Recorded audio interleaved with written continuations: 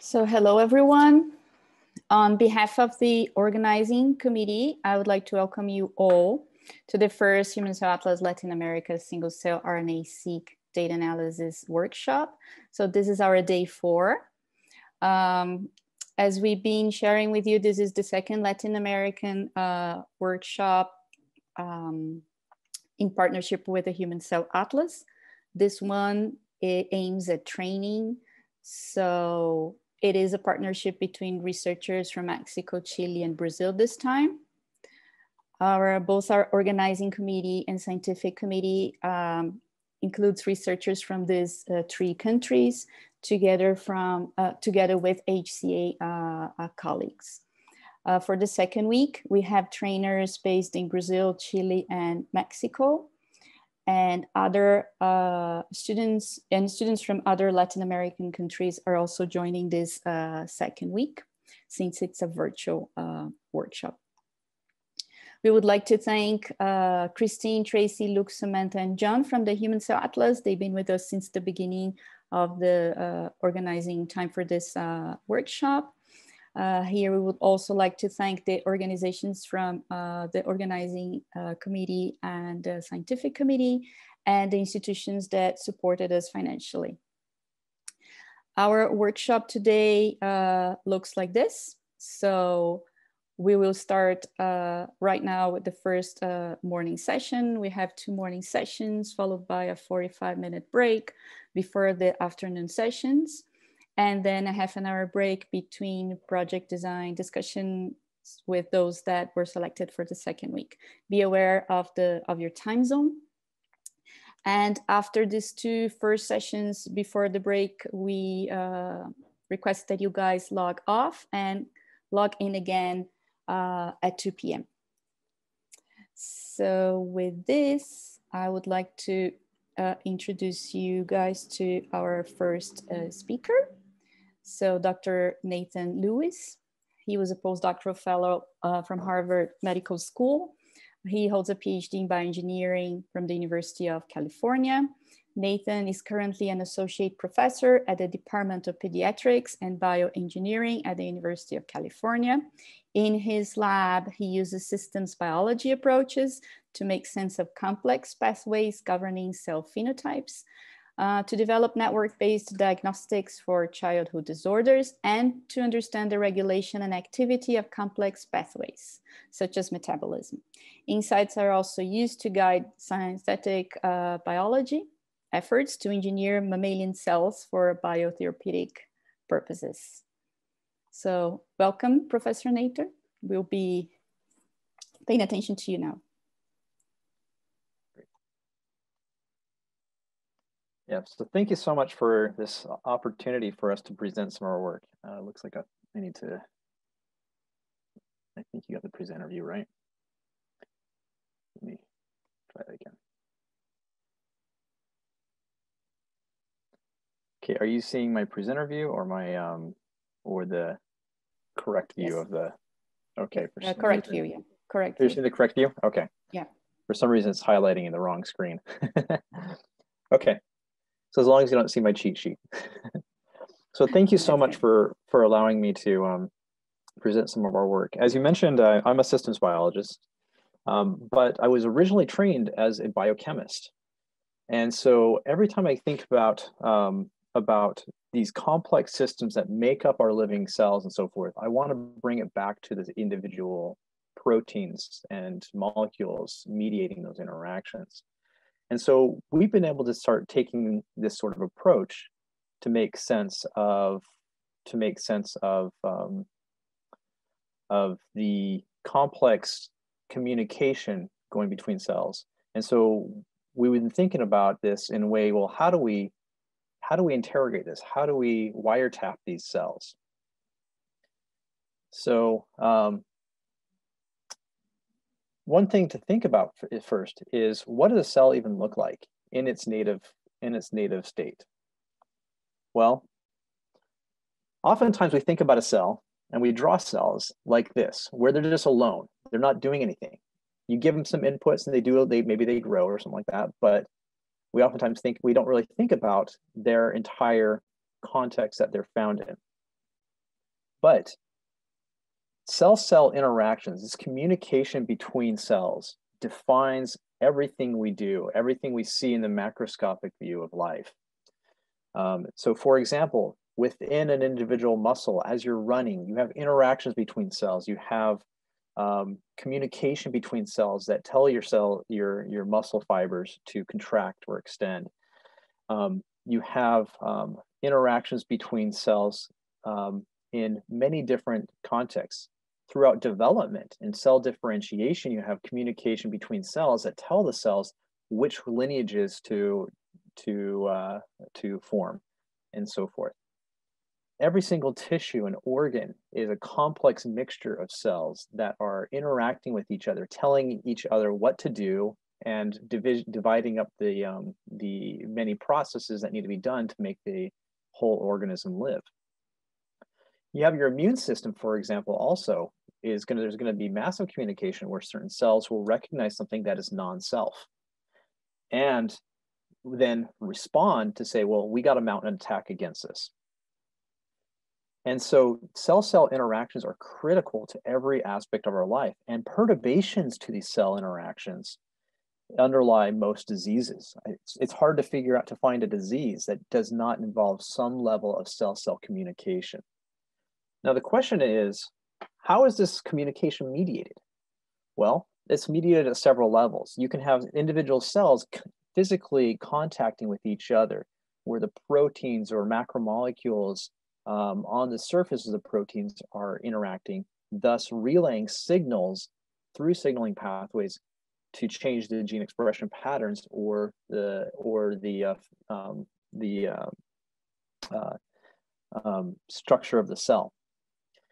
And so this is a very this is a very uh, this is just one type of of interaction. We also have um, cases where cells will secrete signals to each other, where you'll have a, a secreted protein or molecule be sent to one cell to stimulate some responses, but to receive that signal, you have to have receptors and, or um, to, to, uh, to relay that signal.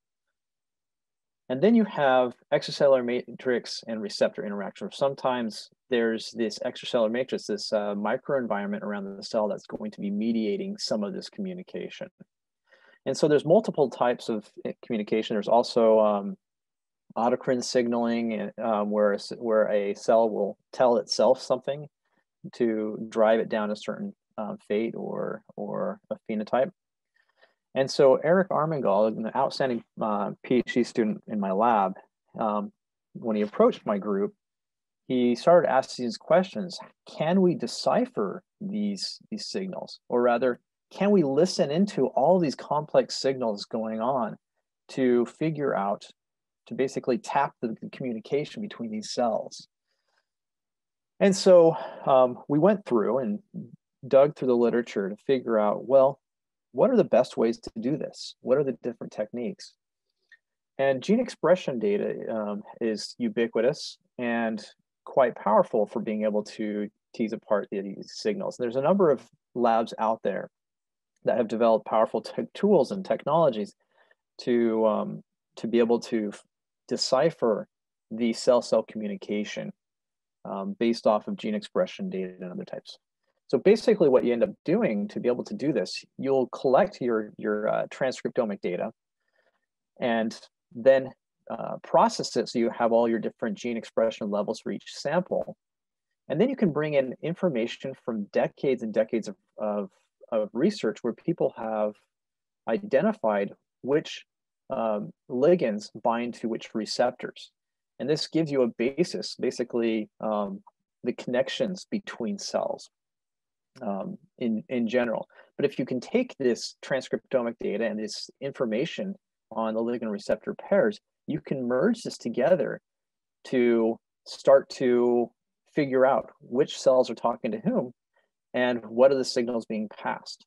And so with this, once you have a matrix of the ligand receptor pairs, you can go in and score the, the samples to see when do you have um, ligand A um, interacting, most likely interacting with the ligand B, which cells are meet are, are doing that. So you can score the co-expression more or less of those ligands and receptors using a number of different scoring functions to figure out how likely is that ligand receptor pair mediating the communication and which cells are are uh, communicating and then you can aggregate this information to to narrow down really which cells are interacting with with which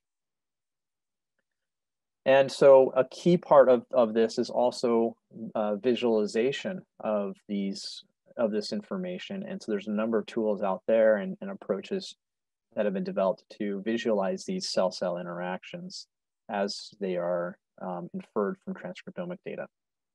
So for example, you might have a case where you have transcriptomic data from two cell types, cell type A and cell type B.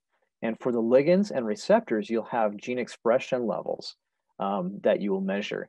You can take this now and overlay it onto information that you have about the ligand receptor pairs. And there's a few different ways that you can quantify this uh, communication. One of the techniques is called expression thresholding.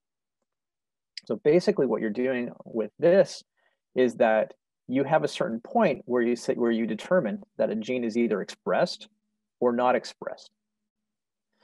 And as you can see right here, um, um, the idea here is if a, if a ligand is expressed and a receptor is expressed, you say, okay, there's possibly communication going on between between those two cell types.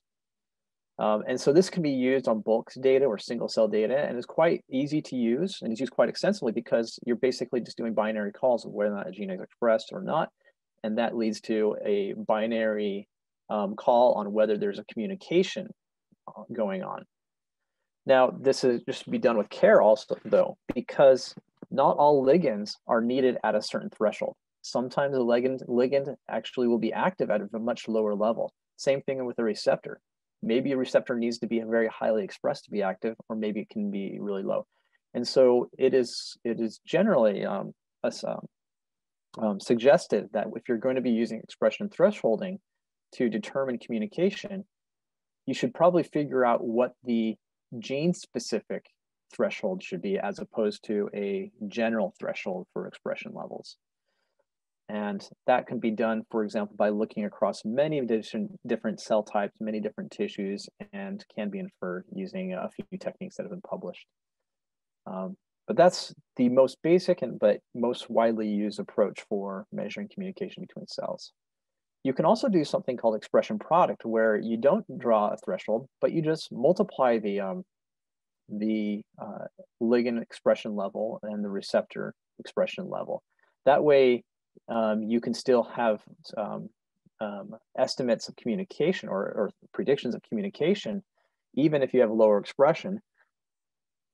Um, and so at that point, after you've gone through and computed these ligand receptor pairs by multiplying their expression levels, you can rank order the, the scores for each ligand receptor pair and determine which ones are most likely to be the dominant uh, modes of communication. There's also expression correlation where you look across a number of different samples um, and, and in each sample you have a different ligand and receptor expression level. And so you can see under certain uh, conditions, when you have them both very highly expressed, that would be cases where you have, where you're more confident that there's communication you can look to see across certain given cell types as the cell types increase or decrease in abundance, whether or not the ligand receptor pairs are, are correlating. And that was, that's a way to, to estimate communication. You also have differential combinations where you're looking at the fold change between the ligand and, and receptor samples. And the, again, this will going to be, this is going to be um, binary. You can say under certain conditions that this, that a given ligand is upregulated and a given receptor is is upregulated, that would then you would say that um, that there would be communication going on between those cell types. So these are just four categories of ways to measure communication between cells. There's actually a number of even more advanced approaches that have been published um, that can be used. And so um, I would do recommend if you want to understand how to do this, going to Erick Armingol's uh, Nature Reviews Genetics paper that came out at the beginning of this year, um, where they go, where he goes in and describes the um, the details of, of a number of different techniques. And to benefit, I mean, to help you out, there's a number of great tools that have been published that allow you to, to, to do this um, quantification of cell-cell communication um, from transcriptomic data or other types of data. Um, so with these tools, the big question comes um, down what comes down to what sort of communication um, do we want to try to understand, um, and uh, whether it's going to be just understanding who's near who, or what are they saying to each other.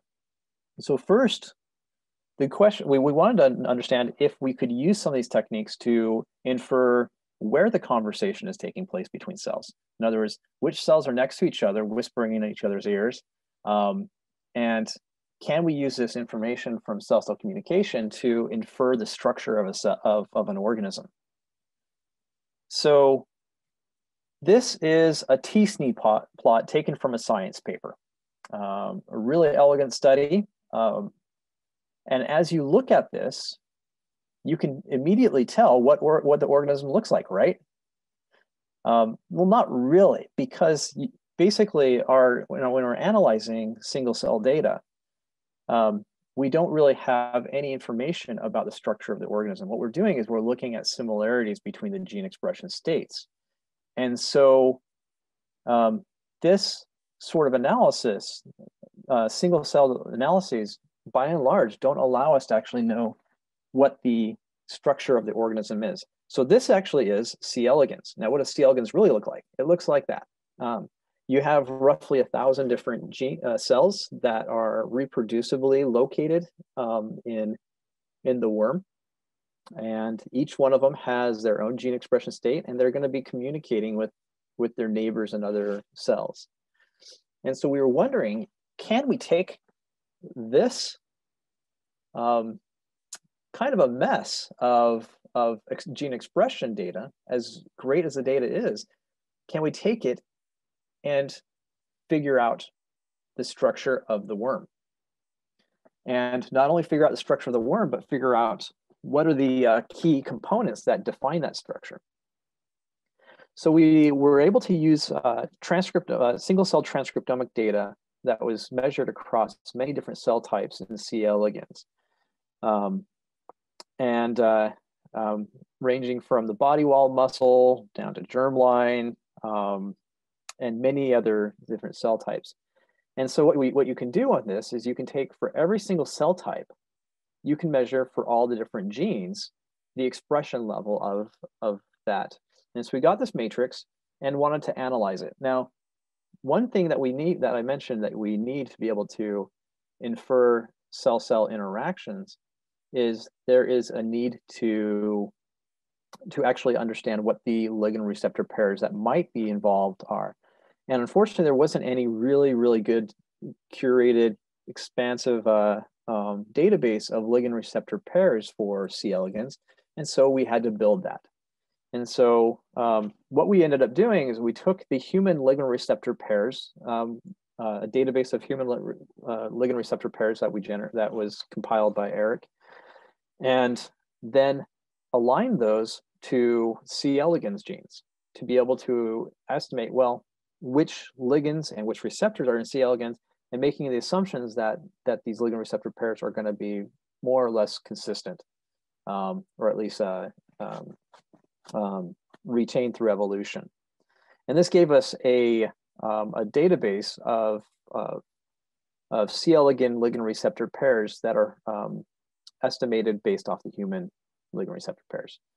And so with this, um, we were then able to bring in additional data and uh, then further manually curate it to be able to develop this um, well curated um, uh, database of 245 um, ligand receptor pairs that we are highly confident are actually do exist in C. elegans.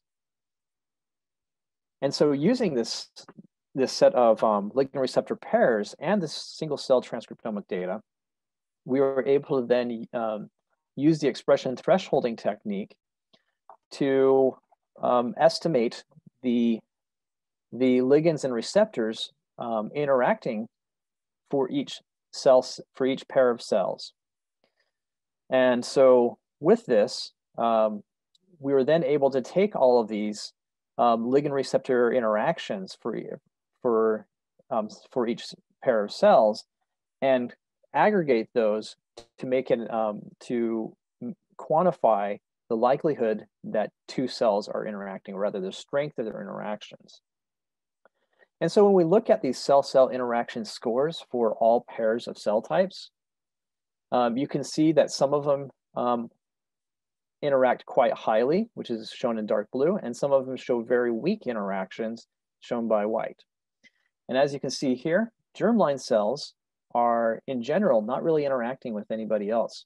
And that's in part because these, these cells are actually insulated um, to uh, uh, from the rest of the from the rest of the worm. Now, we, another one we see are the neurons. Now, the neurons themselves actually showed some of the highest interaction scores, which is consistent with the fact that these neurons are inter, are um, are interacting with each other to um, um, as part of the, the um, nervous system of the worm. And so, with this, we, we it was really uh, uh, made us really confident that that yes, you can actually take the single cell data and get some information about which cells are interacting with each other. Um, and so Erick also developed to um, um, a, a, tool to enable the calculation and quantification of these cell-cell interactions and identifying and identify the uh, ligand receptor pairs underlying those. Um, this tell this um, and and uh, this is publicly available, but his tool called cell2cell um, has a number of different features and and and approaches uh, in there, and it's all outlined in a way that where you can show it to where you can load your data, um, you can plot the interactions between cells, and you can do all sorts of other different visuals to identify ligand receptor pairs that are involved, and um, and correlate these with uh, with uh, with various phenotypic features. So this ends up being a powerful toolbox that can be used to take any given trans trans single cell transcriptomic data set and start to infer cell-cell interactions. Let's see. So now, what, now going back to the original question, we were wondering, not only can we, I mean, now that we've established that we can identify um, actual cell-cell interactions or likely cell-cell interactions, um, the big question is, can we figure out this the structure of the worm? Now, what we would actually expect would be for you to have the highest interaction strength for cells that are most proximal to each other. Um, and so how do we do that? How do we know what the structure is, or do we even know what the structure of the worm is? And the answer is yes. People have gone through and done to great lengths to figure out what are all the thousand, roughly thousand cells in, a, in C. elegans and where are they located? In fact, there was this great database published um, uh, about 10 years ago, 10, 11 years ago, where they went in and actually measured all of the nuclei and placed all of the nuclei, basically gave it a um, coordinates in the worm. And so um, with this, this allows us to um, to compute the distance between cells where you can have different cell types are going to be located in different regions of the worm, whether it be neurons, intestine, um, uh, hypodermal rectal cells, and so forth. And so with this, we were able to then go back with the transcriptomic data and connect the, um, the individual uh, single cell RNA-seq data, data sets um, to cells in specific locations. And so with this, we then were able to compute the, the um, difference, the distance between cell types using this technique where we just look at the pairwise Euclidean distance. So be, between any given cell types, you find the um, minimum distance between the cell types. Um, and so you can see, so we can able to quantify for any given cell type, um, how far is it from each other cell type. And this, so this gives us a reg, uh, an assessment of of physical different distance between cell types that we can then compare to our cell-cell interactions. And so that's what we did is we looked at the at the um, physical distance between cell types and compared that to the cell-cell interaction distances, or rather how strong the cell-cell interactions between were between the, the different cell types. And went through and we looked at the correlation between these uh, these metrics, and it was it was significantly negative. Um, going back again to this idea that um, the stronger the interactions, the uh, the smaller the um, the distance. Okay, um, but a, a Spearman correlation of, of negative 0.21 is not a strong correlation. Now, what we were thinking about this is that there are a number of cell ligand receptor pairs that are communication oriented and not structural oriented. There's going to be a subset of, of interactions that are covering the physical interactions and so forth. And so we wanted to, to figure out what are those subsets and, and can we actually identify the core set of ligand receptor pairs that define um, organism structure. So what, what we did was we use an optimization algorithm, we use a genetic algorithm to identify the sets of ligand receptor pairs that would lead to the um, most accurate worm structure, physical structure. And so the way this works is that you'll take an initial pair set of ligand receptor pairs, and then you will basically modify or modify which ligand receptor pairs and so forth were being um, introduced were being accounted for, and then do a, uh, a, a test where you see how close is the is the actual physical distance between cells to the cell-cell interaction score distance. And then you can iteratively go through this and modify that over and over again until you converge upon optimal pairs of ligand receptor or optimal, ligand receptor pairs that that um, best define the structure. So this is a little bit what it looks like right here. You start with the 250 uh, ligand receptor pairs. You randomly select pairs um, and you obtain the cell-cell interaction matrices. Then you compare those to the Euclidean distances, the physical distances between the cell types to get a score, basically to quantify the, uh, the correlation between your, your CCI matrix and the Euclidean distance. And then you select those that gave you the best score, shown by those two values right there. And then mix and match the uh, the um, the ligand receptor pairs that are included in that. Um, randomly put in a few back, and then run this run through this again. You do this over and over again, and what you'll see is over time you'll converge upon on an optimal set of, or one of many optimal sets of um, of ligand receptor pairs that give you the best matching between the cell-cell interaction matrix and the Euclidean distance. And so what that's exactly what we saw was over over a, just a few iterations, we managed to get uh, a actually quite strong um, uh, Spearman correlation. Um, and so after we did this for several several rounds, we would and we'd see it converge. We would select, we would take the ligand receptor pair set and as as a candidate. Now we did this um, many, many, many times because genetic algorithms, as with many similar algorithms, do not always converge on the um, optimal solution, but they they converge on a solution that's good enough. And so when you run it over and over again, you may get a different answer. And so we looked at the independent uh, genetic algorithm runs and looked to see which ligand receptor pairs are being included. And you can see the even though there was some differences across the runs, there was a, lo- a lot of the ligand receptor pairs that were in, in a single run were actually found in many runs.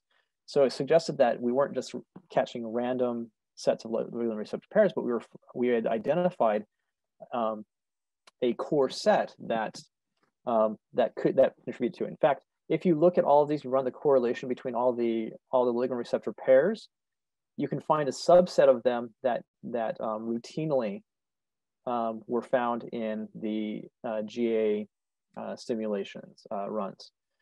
And so these were the ones that showed the highest co-occurrence and the ones that we felt like were most important for predicting the animal structure, the, physical structure of the uh, of the animals. So um, what we looked at when you go in and you look at the um, individual um, pathways that were represented in these pairs, we saw a number of of um, of cellular functions and pathways that are that are associated with cell patterning, morphogenesis, and tissue maintenance. Um, so this includes, as you can see right here, we have quite a few around cell migration, some around Wnt signaling, cell adhesion is quite important. Um, and so you can see that the ligand receptor pairs, they make sense. The ones that are critical for the physical structure of the worm, they make sense. Um, so um, what you end up seeing right here is while we started with a Spearman correlation of negative 0.21, looking at all ligand receptor pairs, and this is another way to show it where when you look at the individual clusters of cells, um, these are colored by the sender cells. These are going to be, these sender cells are going to be communicating with a number of other cells. Sometimes uh, um, there's many different cell types communicating with, um, with a single cell type sometimes you have a single cell type that's being um, that's being mostly communicated through uh, through a specific cell type. Now, when we go in and we use this genetic algorithm to identify the most important ligand receptor pairs for physical structure, we ended up getting a much stronger Pearson's correlation, uh, sorry, Spearman correlation of negative 0.63, being defined by 37 ligand receptor pairs. And when you look at the individual cell types, um, you are seeing, for example, the pharyngeal cells are closer to each other when you account for this. Um, you can see um, uh, the neurons are even closer to each other and interacting with each other. Um, and they're also interacting with the body and the, oh, and the intestinal muscles. So this gave us some confidence. We wanted to look a little bit more into it to see, to actually look at it in the context of, uh, of the known structure itself. So what we did is we took the C. elegans body and divided it into uh, into various sections based on where on um, whether it's anterior or posterior um, sides of it.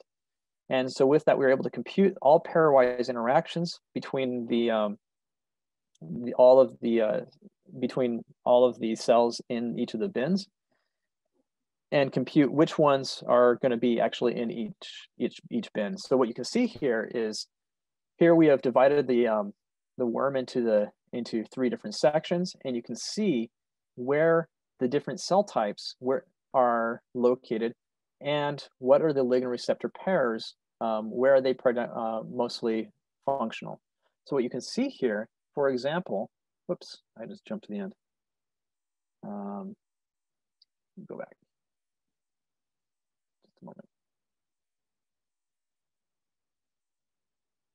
Okay. So what you can see here, oh, too far. Okay.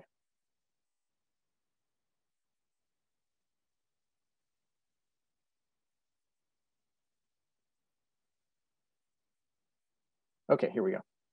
So what we found here is that there are certain eh, ligand receptor pairs that are important for different regions of the worm. And so these actually do make quite a bit of sense. For example, Lin44 is known to be enriched um, in the tail, um, while um, many other ligand receptor pairs are, are, are critical to other regions. So, um, so in summary, with that, we were able to, to identify from this a number of ligand receptor pairs that are mediating interactions between individual cell types and um, and can be used to define the uh, the organization of an organism. So you could imagine you could start trying to scale this up to to higher organisms to really figure out, given single cell data, can you figure out um, maybe the order, the structure of individual tissues and so forth. And so that's that's just one type of information that we can derive from from single cell data to gain insights into into cell cell interactions.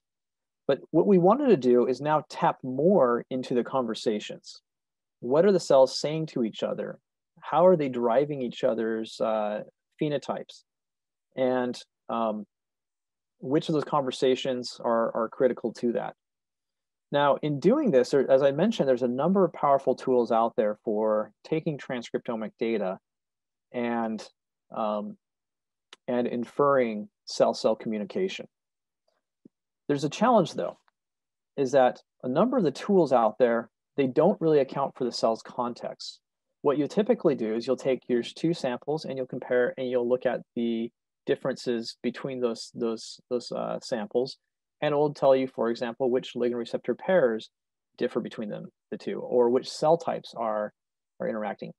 But they are not able to, they're not really equipped to handle the diversity of, of data types nor temporal aspects of cell-cell interactions. Um, and so, for example, you can have you can have you could have samples from different stages of life where cell-cell interactions are going to be um, changing thus leading to um, leading to um, phenotypes of aging. And the current tools out there can't allow you to simultaneously analyze all of those samples to identify which cell types are which cell cell interactions drive this this uh, these aging phenotypes and what are the ligand receptor pairs that are that are mediating that.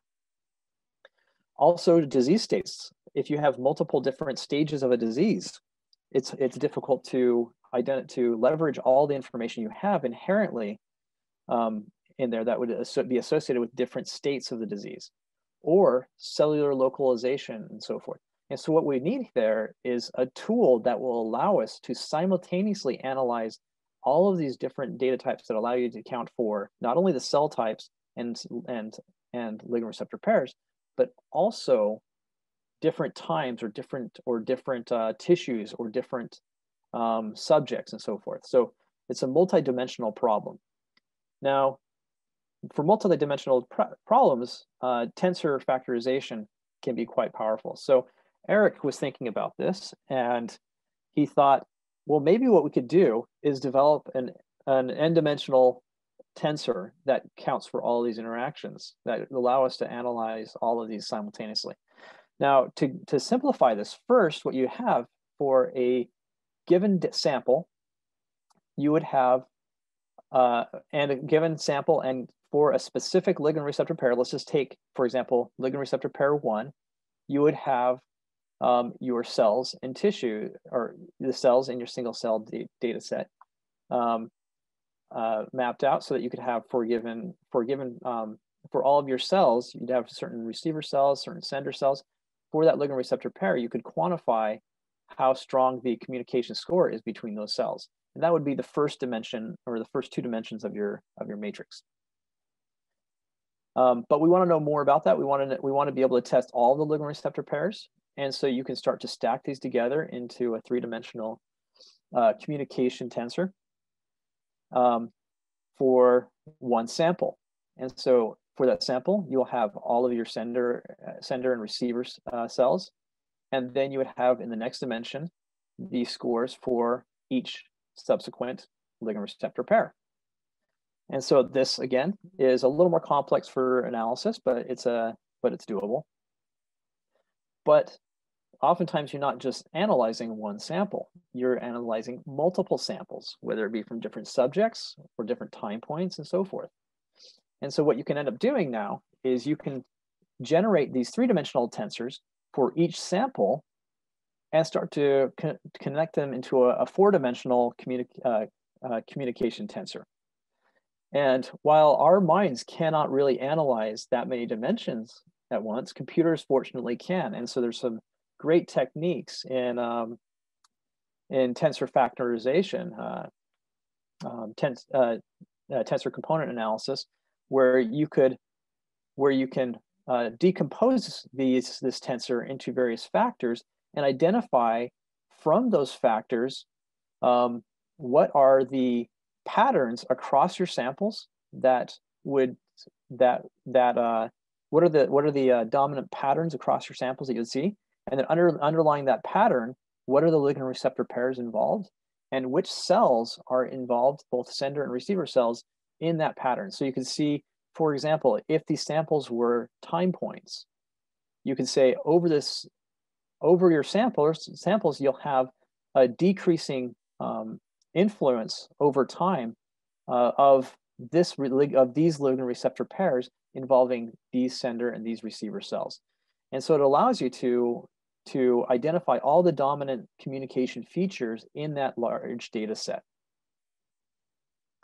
Just to give you a little idea of how, how it works, we first did a simulation of this where we took three cell populations and simulated um, the um, ligand receptor interactions between these cell types where these are happening at different magnitudes with for each for each time point.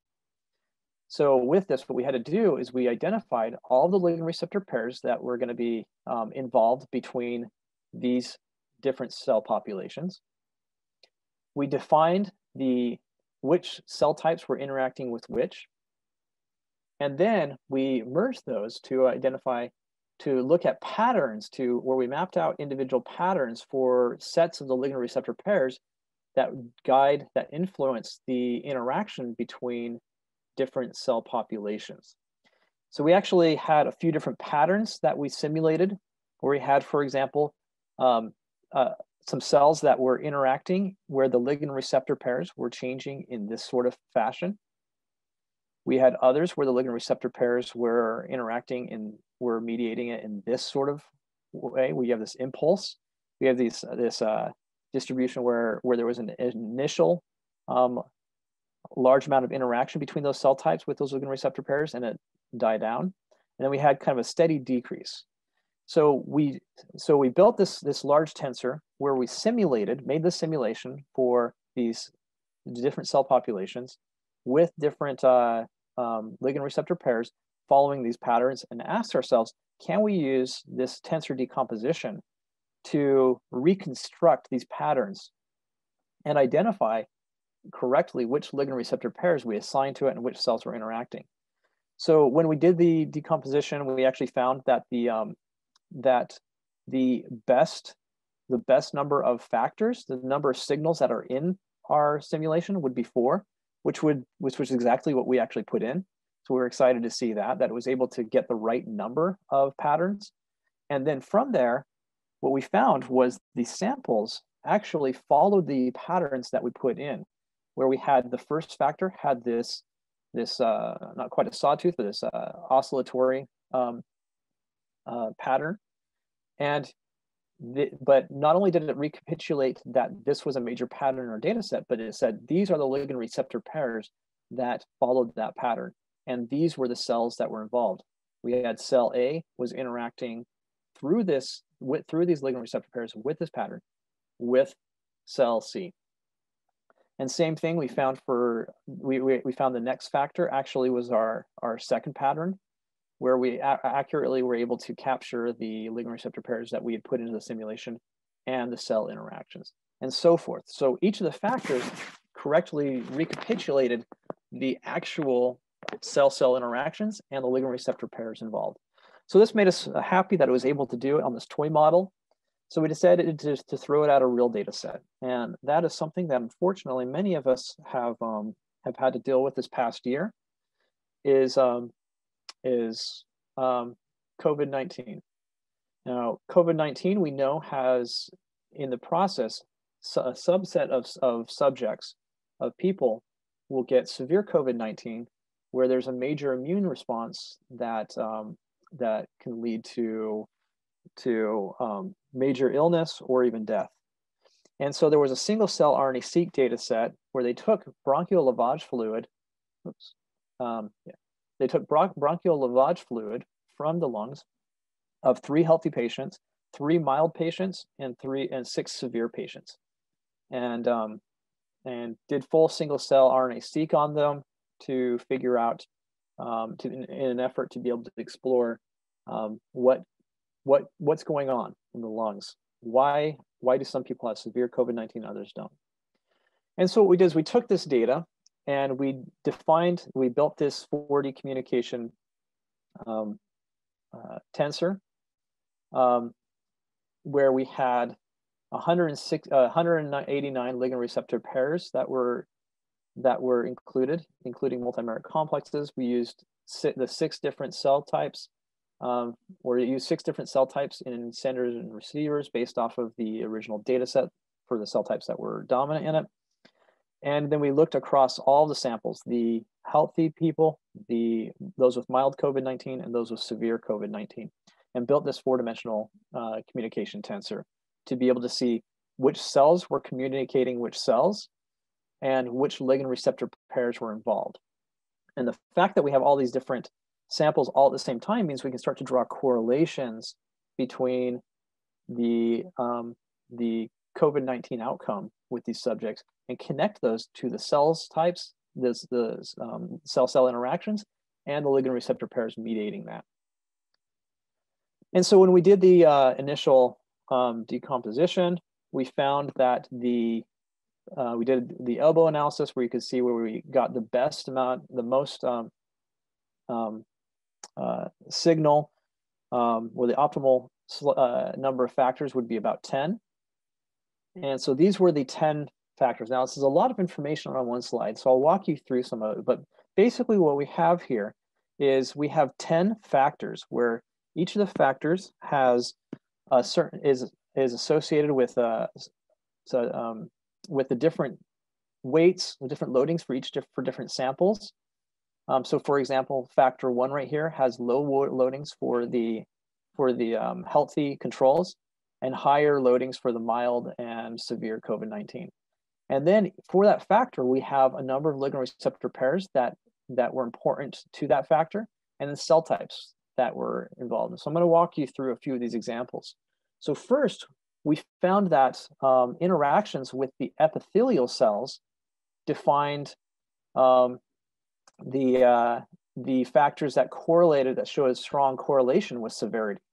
So for example, right here, these, uh, this, this was exciting because, because um, while we did see this correlation with these two factors, and it was very significant, and it was significant, they were biologically significant in the sense that a study actually demonstrated that that um, the COVID-19 severity actually uh, is is is driven in part by the the um, interactions between the epithelial cells and the immune system. Um, and so we found that this, even though this was from a different data set, we were able to to recapitulate um, what is what is known it, with these two factors. So, but it's not only knowing who, which cells are talking to whom, we want we were able to identify what are the key factors that are involved in this. And so, um, very briefly, um, in factor one, we found that there was this um, inter- this involvement uh, with MDK, for example, that has been known to um, exacerbate leukocyte recruitment to inflammation sites, and has been um, also been shown to be um, um, involved in the response to mechanical stress on lung epithelial cells. So that was exciting to see that.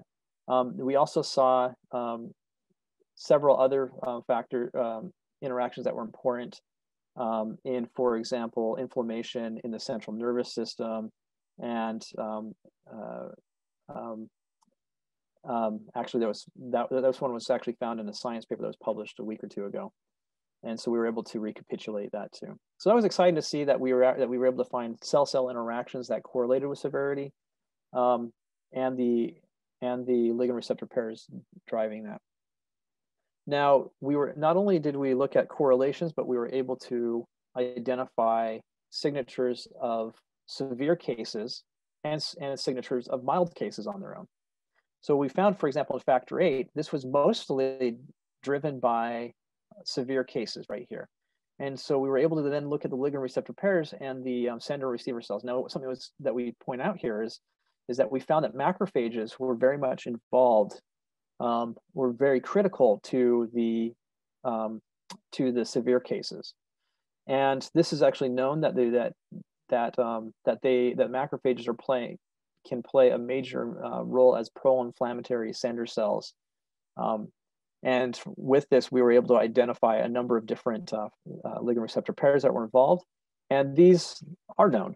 Um, several of these are known to be involved and are actually have been suggested to be pharmacological um, targets to suppress uh, immune hyperactivation in COVID 19. But that's for severe. We also had mild um, COVID 19. So, again, factor eight was severe. Factor three is mostly mild. And we again found macrophages were involved here, but they were inv- involved in a different way. They had a, um, a different set of interact of ligand receptor pairs that are actually more associated with anti-inflammatory responses. So while it seemed like severe cases were going, um, the macrophages were going more to an M1 state, which leads to very a very pro-inflammatory state.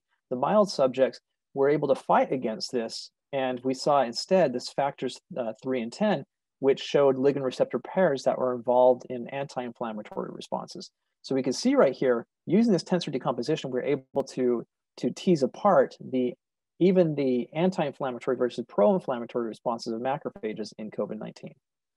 And so we also found that in, in healthy conditions, you, they were basically in a homeostatic um, state where you could where we were able to see um, um, ligand receptor pairs that were um, involved in many different cell types. And the interesting thing here is the sender receiver cells were pretty much uniform. In fact, you can quantify this using the Gini coefficient.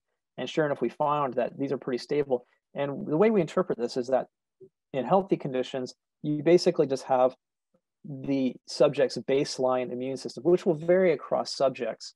And so you don't see a strong correlation because you're not really correlating it with the um, with a major assault, whereas um, COVID-19 is a major, you know, um, consistent assault against uh, that is uniform across people. Um, and we were able to identify a number of interactions that were that that are important for um, promoting fighting against tissue in, uh, injury and promoting tissue repair and so forth.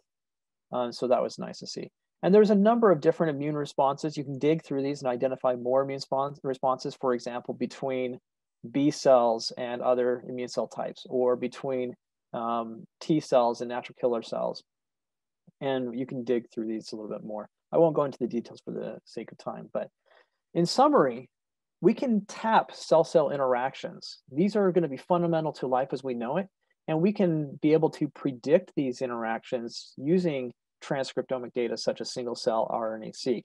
And so um, and there's a lot of great tools out there to do this. Now, we showed that we can use this to look at the location of the uh, of the cells involved in the interactions and be able to identify the core ligand receptor pairs that are that determine tissue structure. And we also demonstrated that um, these cell-cell interactions can and their ligand receptor pairs can be identified, especially the ones that are driving phenotypes, whether it be severe COVID-19 or other diseases. And so there's a number of, uh, of, of other applications that, that we're applying this to and, um, and even more that can be applied to in general. Now this work was done in large part, and Erick Armingol has been an outstanding graduate student in my lab. Um, he's a, a, a, Fulbright fellow and, and, and part of the CONICYT program in Chile. And so he's been, it's been a real blessing having him in my lab. He brought in a lot of these ideas around cell-cell interactions and um, and um, has been developing some great tools. So if you have questions about about how to do this, you definitely want to reach out to him and uh, try out his tool, cell2cell.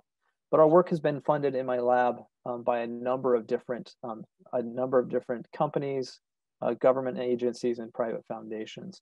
And a lot of this work was done in collaboration with Eyleen O'Rourke's lab on the C. elegans work in um, uh, University of Virginia, Arlington, and then um, with other collaborators at UCSD, such as Olivier Harismendy's group, um, who helped us with the uh, review at the beginning. So I'll be happy to take any questions at this time.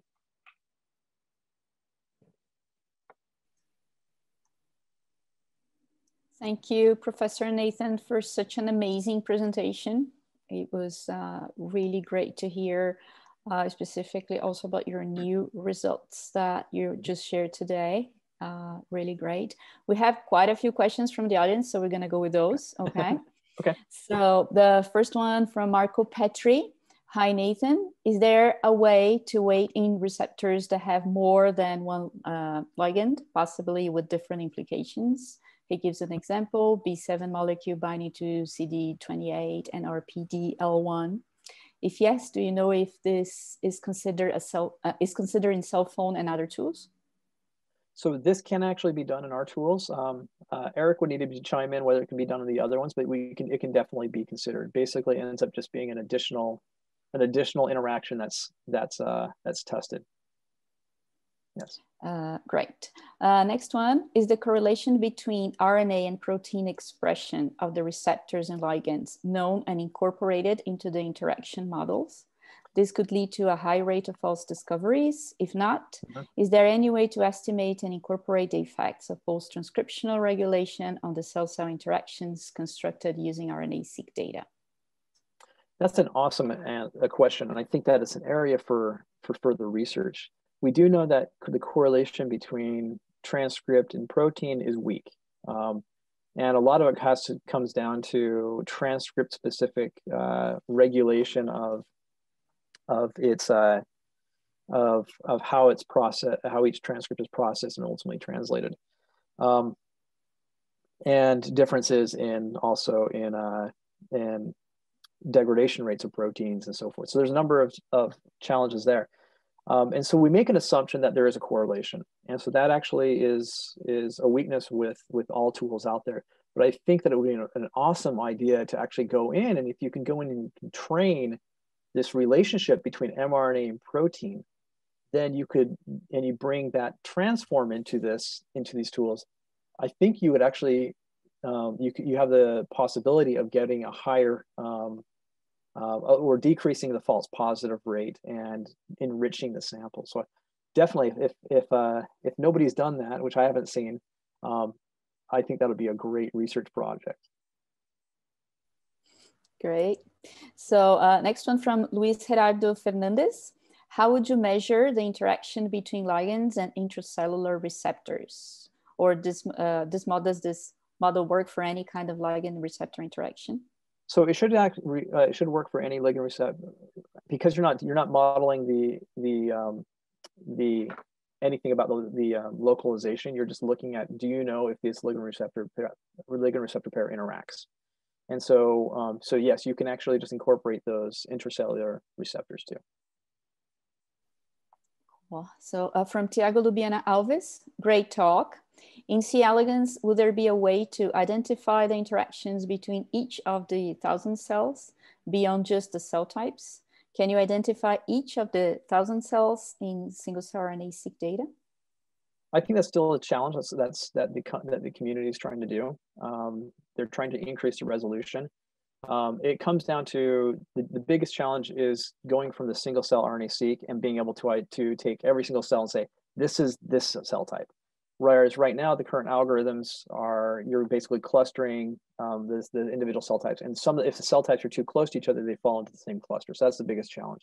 So if we can develop a way, like sorry, for example, um, sorting all the cells, having someone with a very fine razor blade cut out every cell and and do the transcriptional profiling on that, then you'd be able to. But I think that we're still working on the technological aspect of being able to to more powerfully identify cell types in single cell data. Perfect. Uh, from Alberto Salazar Granara, uh, this type of measurements between ligand and receptors, do, can they influence in redefining orthosteric and allosteric sites? That's a good question. Um, so there's a lot of different ways that these that these proteins can interact, and um,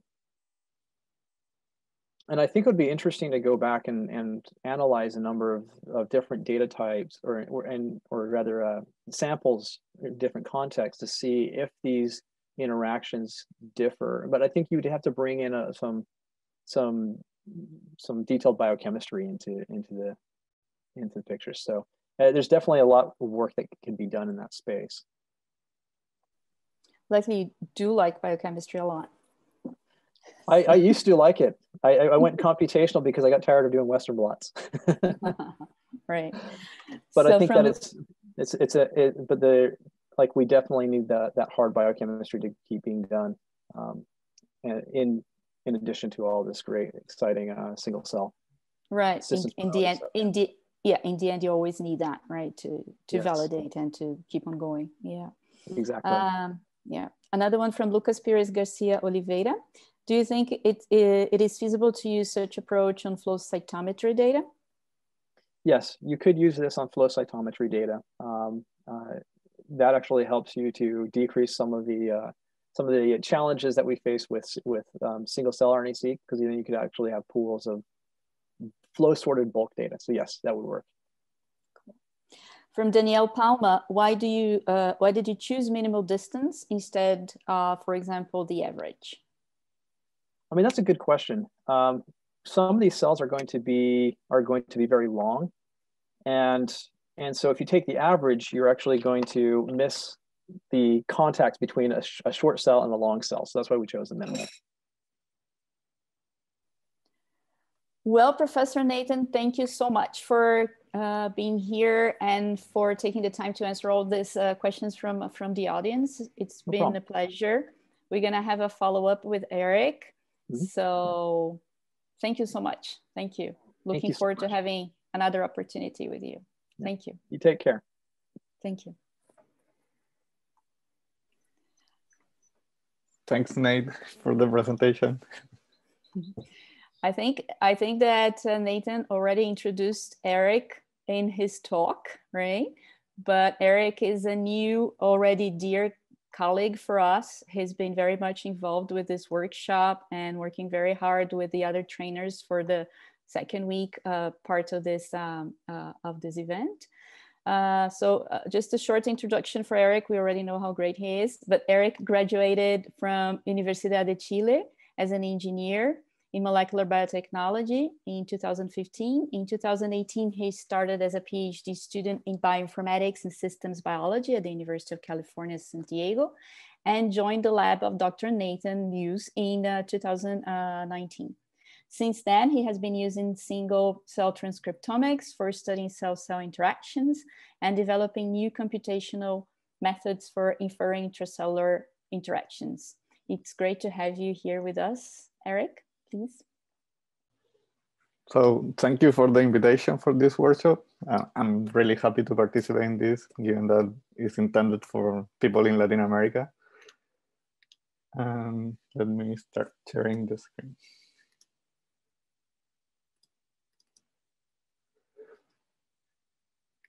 Okay, can you see my my slides?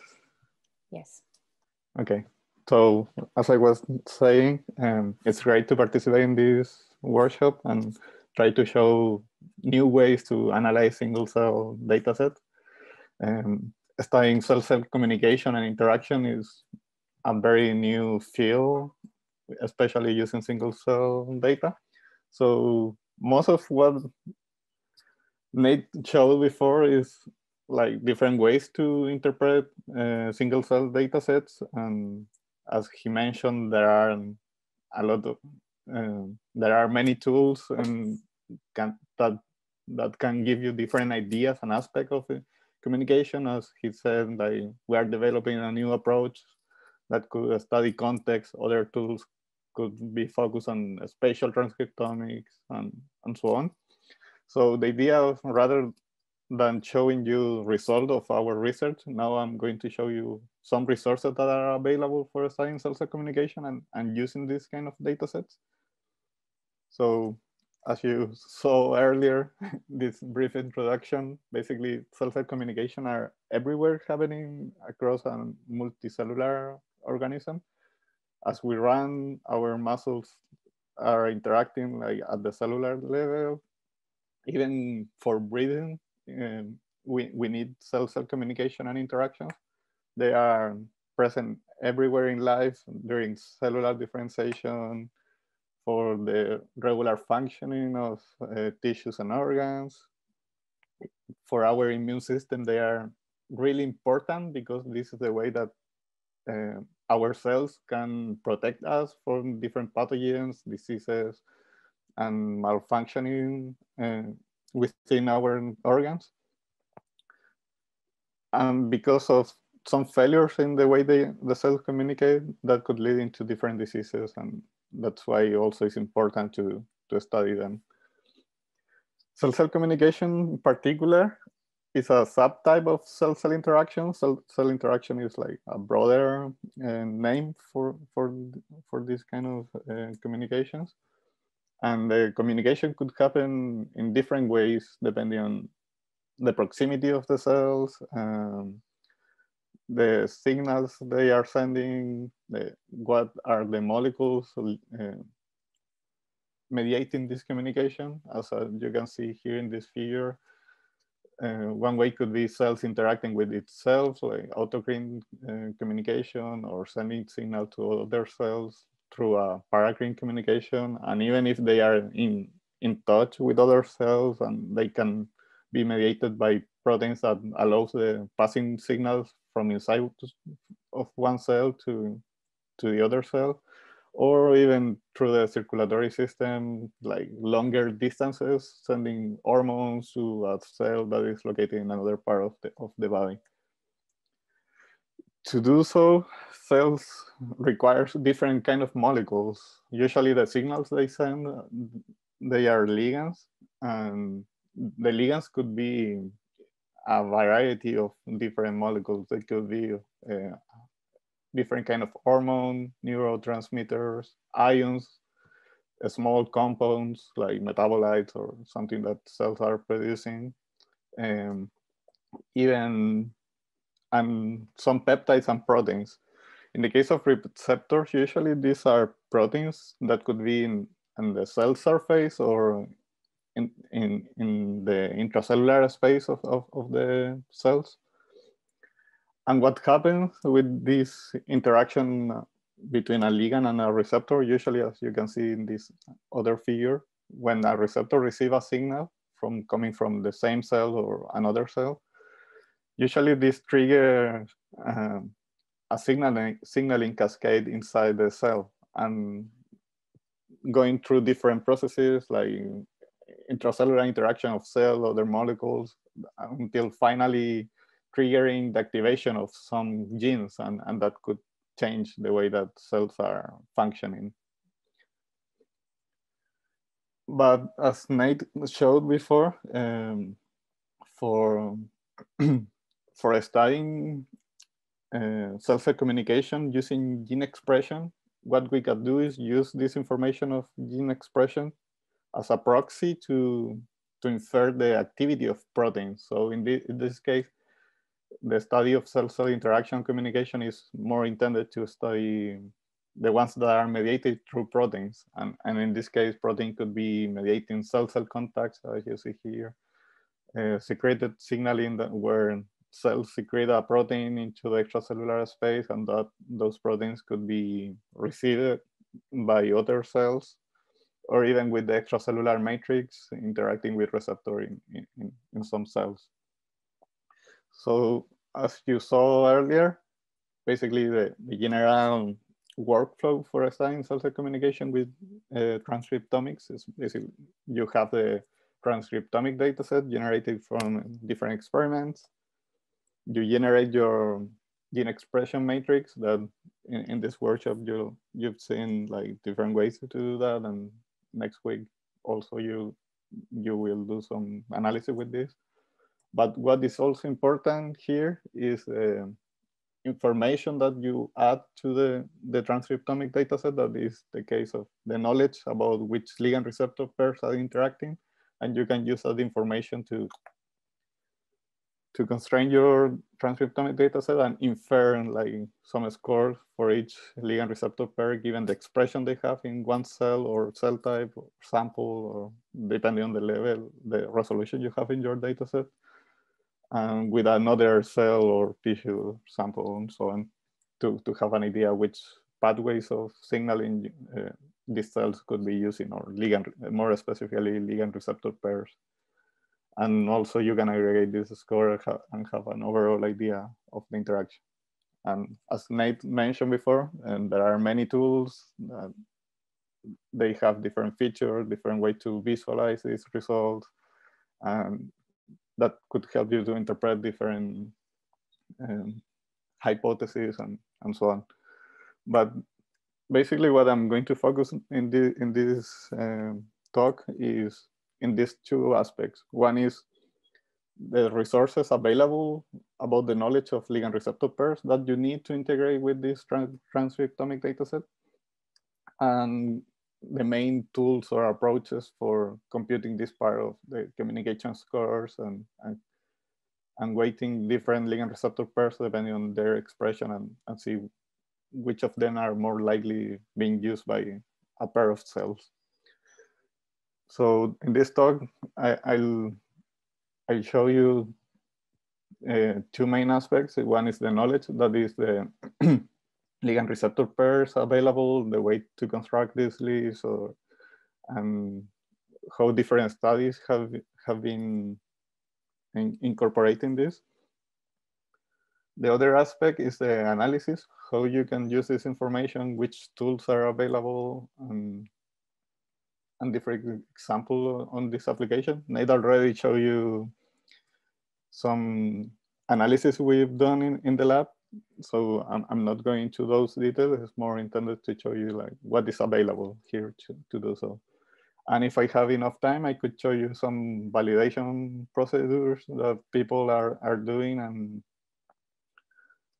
and a new technique, as I, I, mentioned. So basically for ligand receptor pairs, I'm going to show you a little bit about the evolution of how people have been building this list, different databases, and how you can build this list for other organisms um, different than humans and, and mice.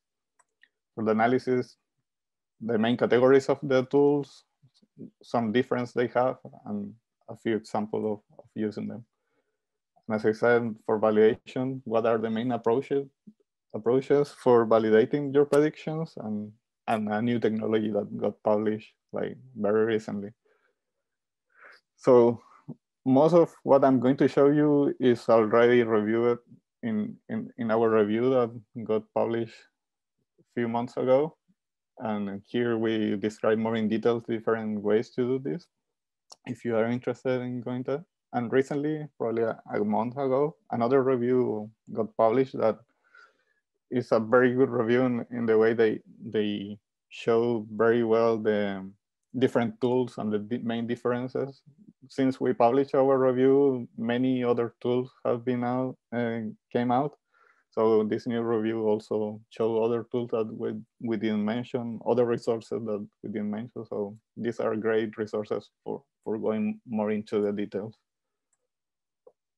So the first part about ligand receptor pairs. Earlier in the 2000s, this paper came out and in Nature where they use microarray dataset. So not single cell as we are used now. They, they, they were using microarrays and they came out with this idea of using ligand receptor pairs that people knew for a long time, uh, even before that bioinformatics existed. Um, and they use this information in a in a very smart way that where they they did this correlation of the expression of, of these ligand receptor pairs for each of these pairs using the microarray information. And they realized some autocrine loops happening in cancer cells um, and they they got important results for, for, for the for these kind of fields and, and they created a, a fierce uh, database of ligand receptor pairs given the interaction they, they knew at, at that time uh, and in this uh, website. And this website, I think it hasn't been updated since then, or it, it was at some point, but but now it's, it's not as the, the new the new other database. So since then, people started using this kind of approaches. It it happened probably 10 years since this paper until people have again started reusing this kind of approach and even more when RNA-seq technologies came out. And as you can see in this plot, I'm showing you new lists that came out after the this first one. and, and they started increasing the number of ligand receptor pairs because with new technologies, people were able to have even more information and new prediction of potential ligand receptor interaction. But mainly they they were focusing human. So we have a lot of information for human, even for mouse because it's an animal model that is used the most. And, and as you can see from the first list, we, we have an increasing number of ligand receptor pairs that are known. And at some point into in 2015, this paper came out that is a very important paper for the field that defined around 2000 ligand receptor pair for human. It was the first one in surpassing the barrier of a, a thousand ligand receptor pairs. But even more, they studied um, human cell types and de they define the communication network of, of those cell, cell types. So um, this ligand receptor pair database they created here has been broadly used in the field. People started even improving that list, adding new interactions, or using that list as a reference to create other lists for other organisms as human, uh, as mouse, and so on. And as I mentioned, they, they studied and defined the uh, cell-cell communication network of human cell types. They took 144 uh, human cell types and connected them depending on the ligand receptor pairs they were using. But here in this representation, they aggregated them into five main cell types. And they saw the strength of, of the interaction, as you can see here in these arrows, and, the, and they put the number of ligand receptor pairs they were using. So that gave them a lot of information. Given the ligand receptor pairs these cells are using, they could do some enrichment analysis, have the main biological processes happening depending on the cell types, sending, as you can see here, mesenchymal cells, sending signal to other like epithelial signaling and so on. And this uh, had a, a, huge impact in the in, in in the single cell field since now you can get this kind of information and then uh, people started doing different analysis in different organisms, different diseases and biology questions. Since this list of ligand receptor pairs came out, um, different groups are starting using these ligand receptor pairs, even adding more information, but something that uh, a group of the, of bioinformatics and biology people were wondering. So we have the interaction of ligand receptor pairs, and usually it's one protein interacting with another protein. But something that happens in reality is uh, you need a complex of proteins that could be a receptor interacting with one ligand or more proteins that are uh, composing that ligand. As for example, in this figure, you, we have some receptor for cytokines that usually are made by different subunits, and each subunit could be a different protein. So in order to be functional, they need all those different subunits being expressed simultaneously, and that wasn't uh, accounted for in, in the previous analysis.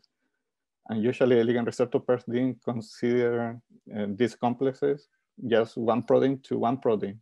And now they started building new lists, including that information. Like, okay, now you have a complex. So for that, probably in the analysis, you need something that all those uh, proteins in the complex are, are expressed. So that's how CellPhoneDB one one of the available tools came out and and they also incorporated this information. They, they built this of ligand receptor pairs as you can see here in this figure where receptor could be different subunits the same for ligands and now you have that whole interaction happening and and, and considering that information. Previously on, only consider for example interaction between subunit one with of the receptor with the subunit one of the ligand and that's all the interaction they consider. And up and a separate way, they consider the other interaction between subunit two and subunit two of the ligand as well. But now it's all the group interacting with all the other group. so for that, they, they build a list of around uh, 900 interactions. But a few years after that, this new tool, CellChat, also was considering this complex information of interactions.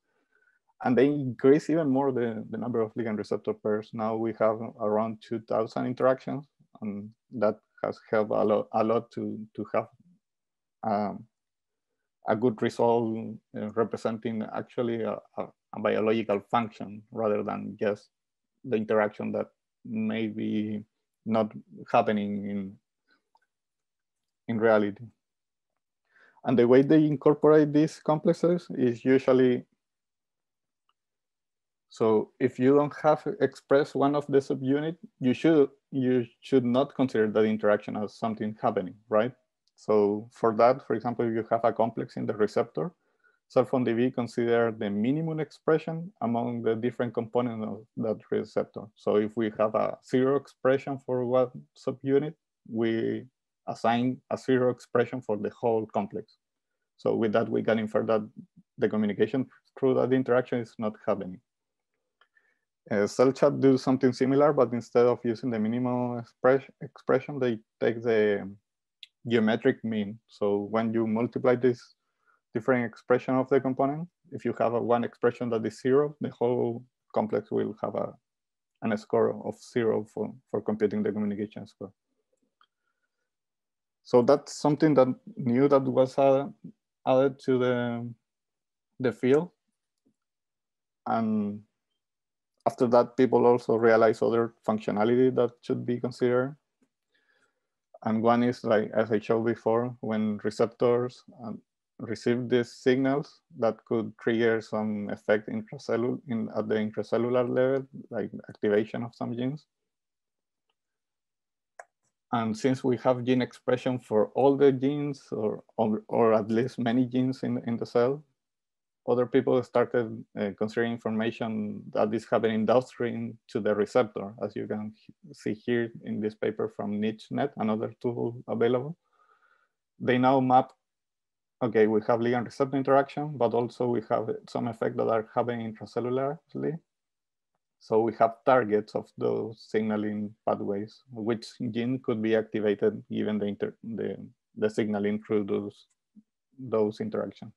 So the, now they take the, these target genes happening downstream and they can compute a new score given the activity at the intracellular level and that can add more information.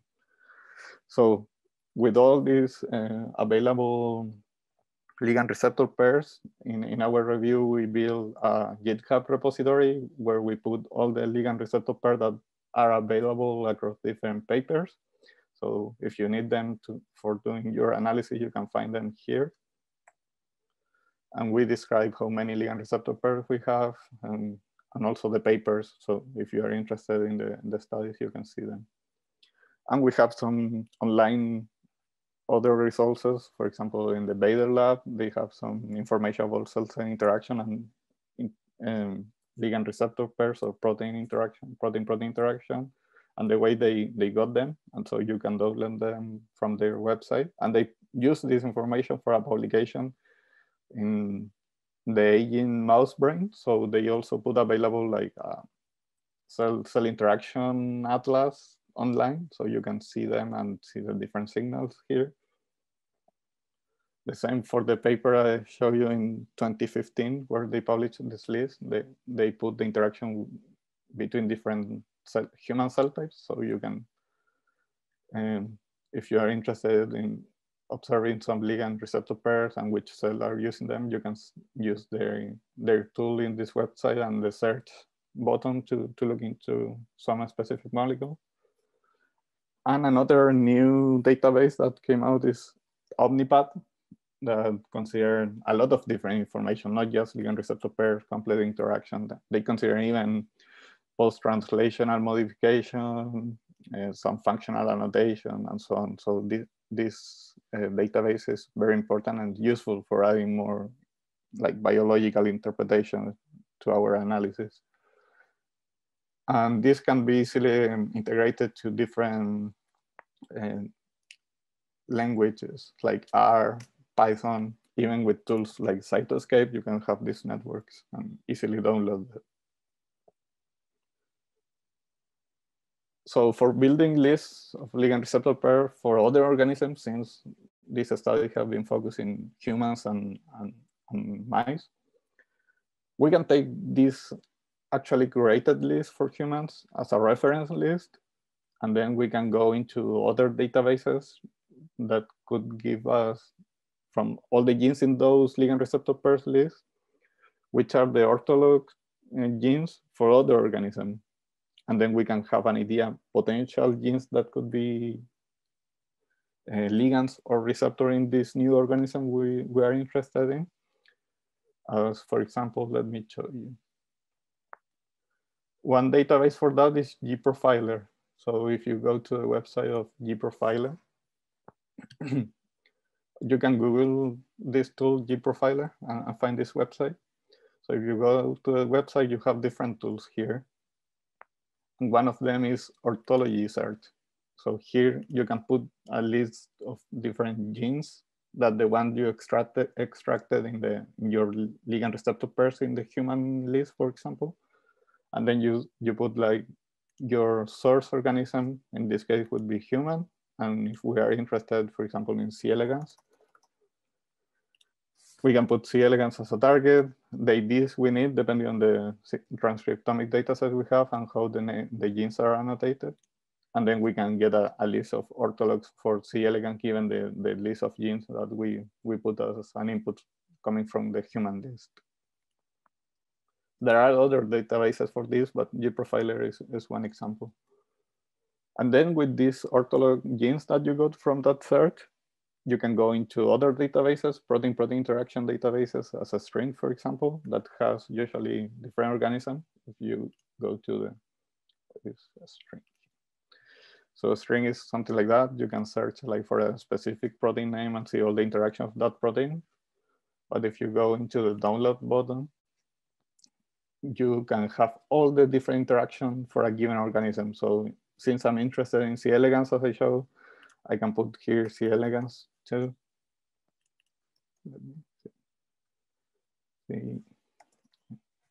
C. elegans, update this, and this will give me all the protein-protein interaction that are known, either with experimental evidence or not.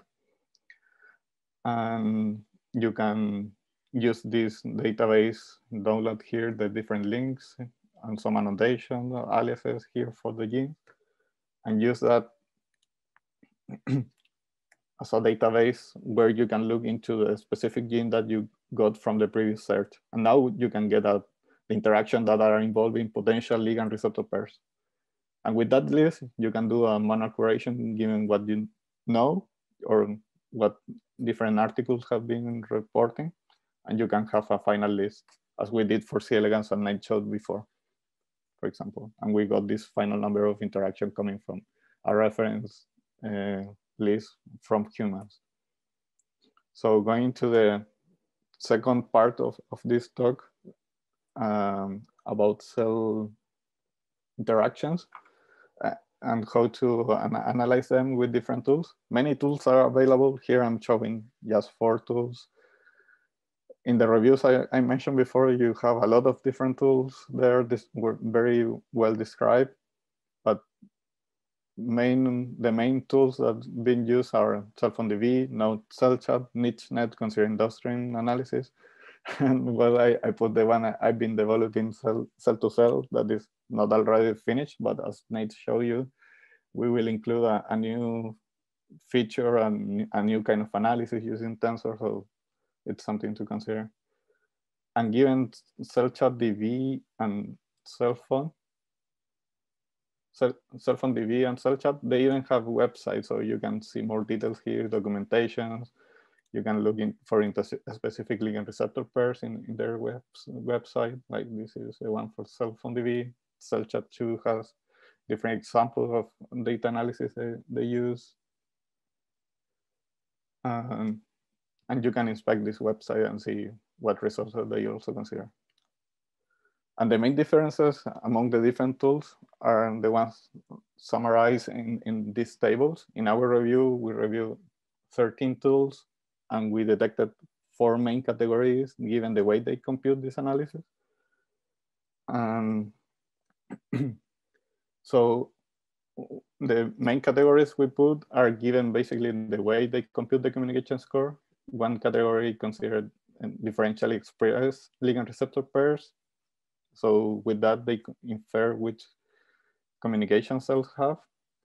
Other group of tools use a permutation to detect cell type specific interactions um, that are not that are significant and not due to random chance. Other ones are considered network approaches, as the one I mentioned with NicheNet. They consider downstream genes, and with that they can weight which communication pathway are happening.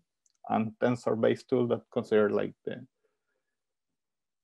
the data structure and the, and the correlation among data using a tensor, and, and that allows to see many to many interactions simultaneously.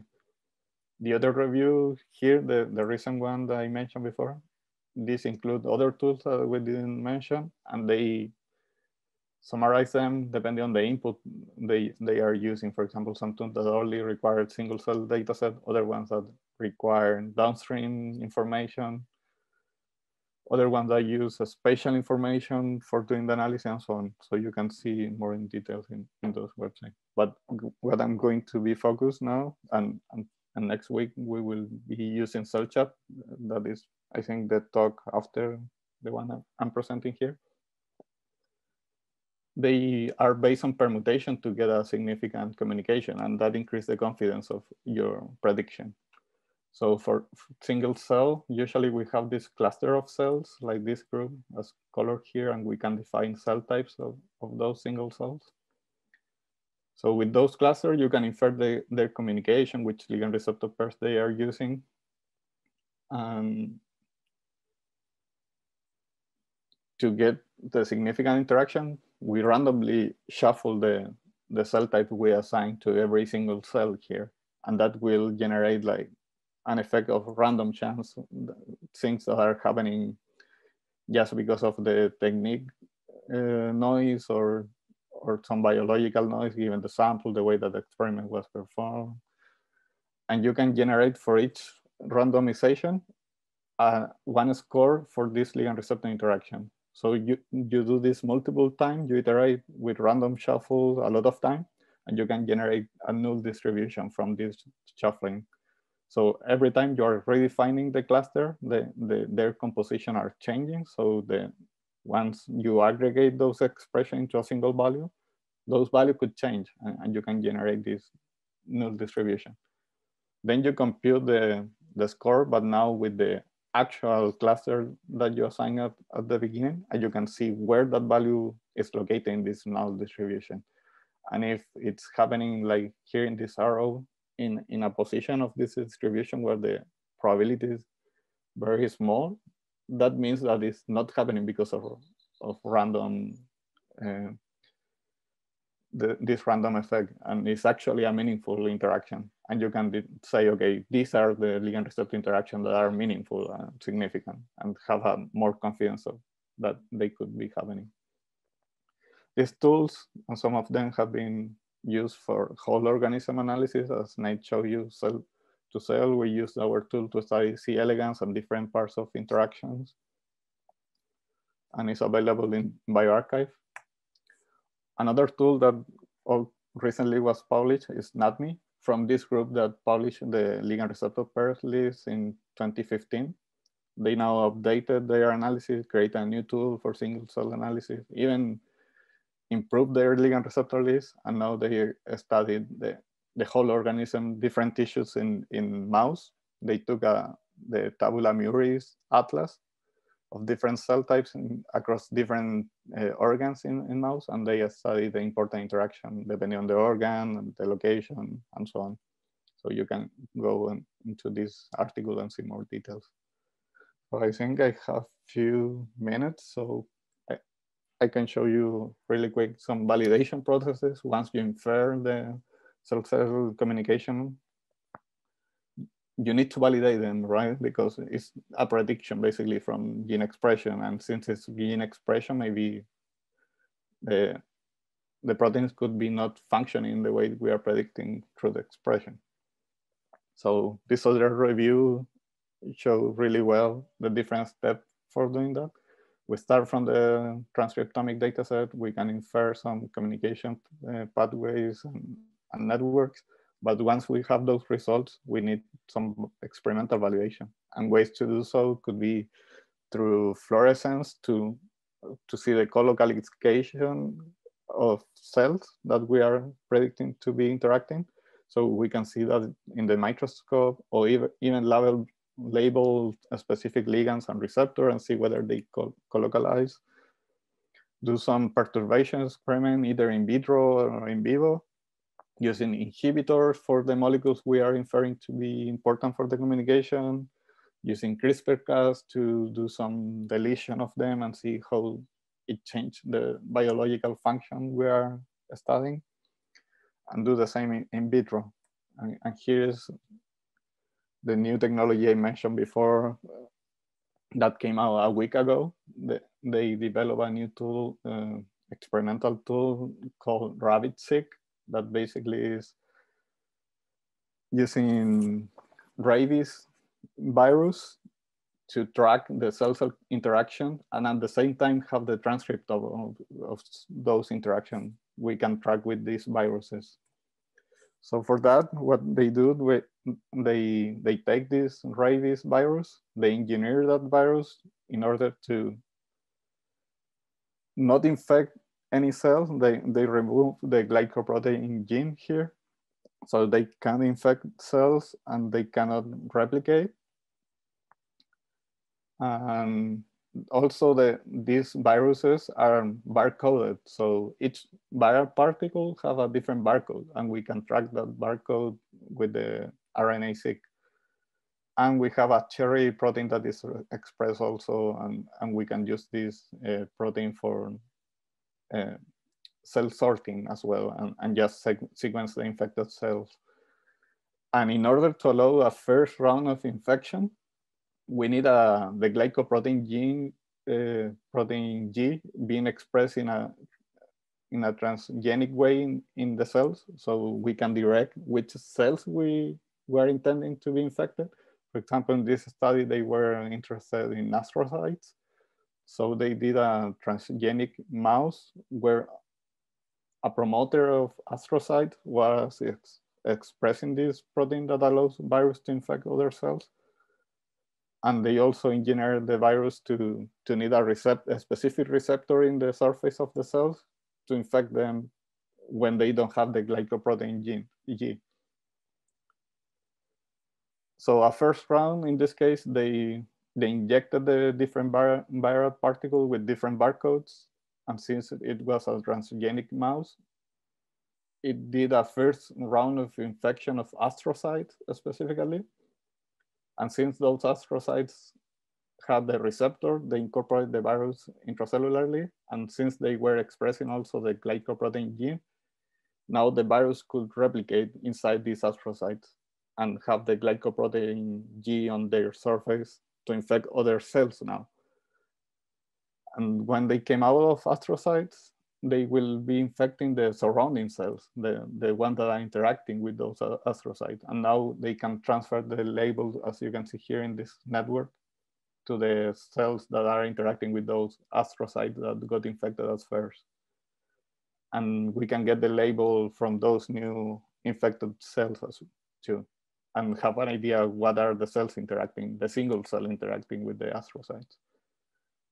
And since now they infected other cells that are not expressing the glycoprotein gene, uh, now this virus can't replicate and can infect other cells. So we only get the information of what are the direct cells interacting with the first round of infected astrocytes. And we can track this through the traditional ways of single cell RNA-seq since they put the barcode for the virus, we can now trace back which were the first cells infected with this, with with are the other cells that got infected after interacting with this main cell. And we can get incorporated with the UMI and the cell barcode. So we exactly know which single cell was infected by which viral particle and I have an idea of the interaction. And at the same time, as you can see here, we know the transcriptome because we are using the cell barcode and we can see the expression of other genes. And then they build this connectome interaction given the which was the barcode of the virus and the interaction that astrocyte had with other cells. And then they inspected the genes expressed in these other infected cells. And they got an idea of which ligand receptor pairs um, are being used through this different interaction. And, and they saw in the case of uh, multiple sclerosis, they used the animal model for multiple sclerosis and they saw which are the interaction between astrocyte and microglia, for example, that are important for this disease and how the inflammation is happening and what are the, the specific signal that are using these cells that were infected and and we actually know in vivo that they are interacting because of this infection using this this virus. So that's all what I was going to show you today.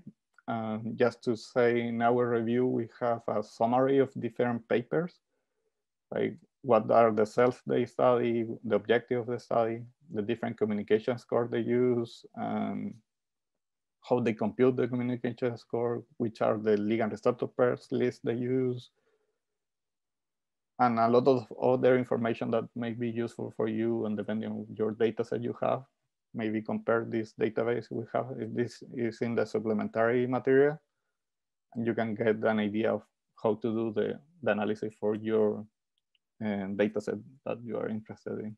So given that, I would like to thank uh, Nate and people in the lab too, that they've been helping with different projects and giving some ideas, different aspect discussion to especially Haraj, uh, Chintan and Isaac that are being also working on this cell-cell interaction field. People from Oliver Lab, Oliver Harris Mandy, and our officer, we work together for doing this uh, review.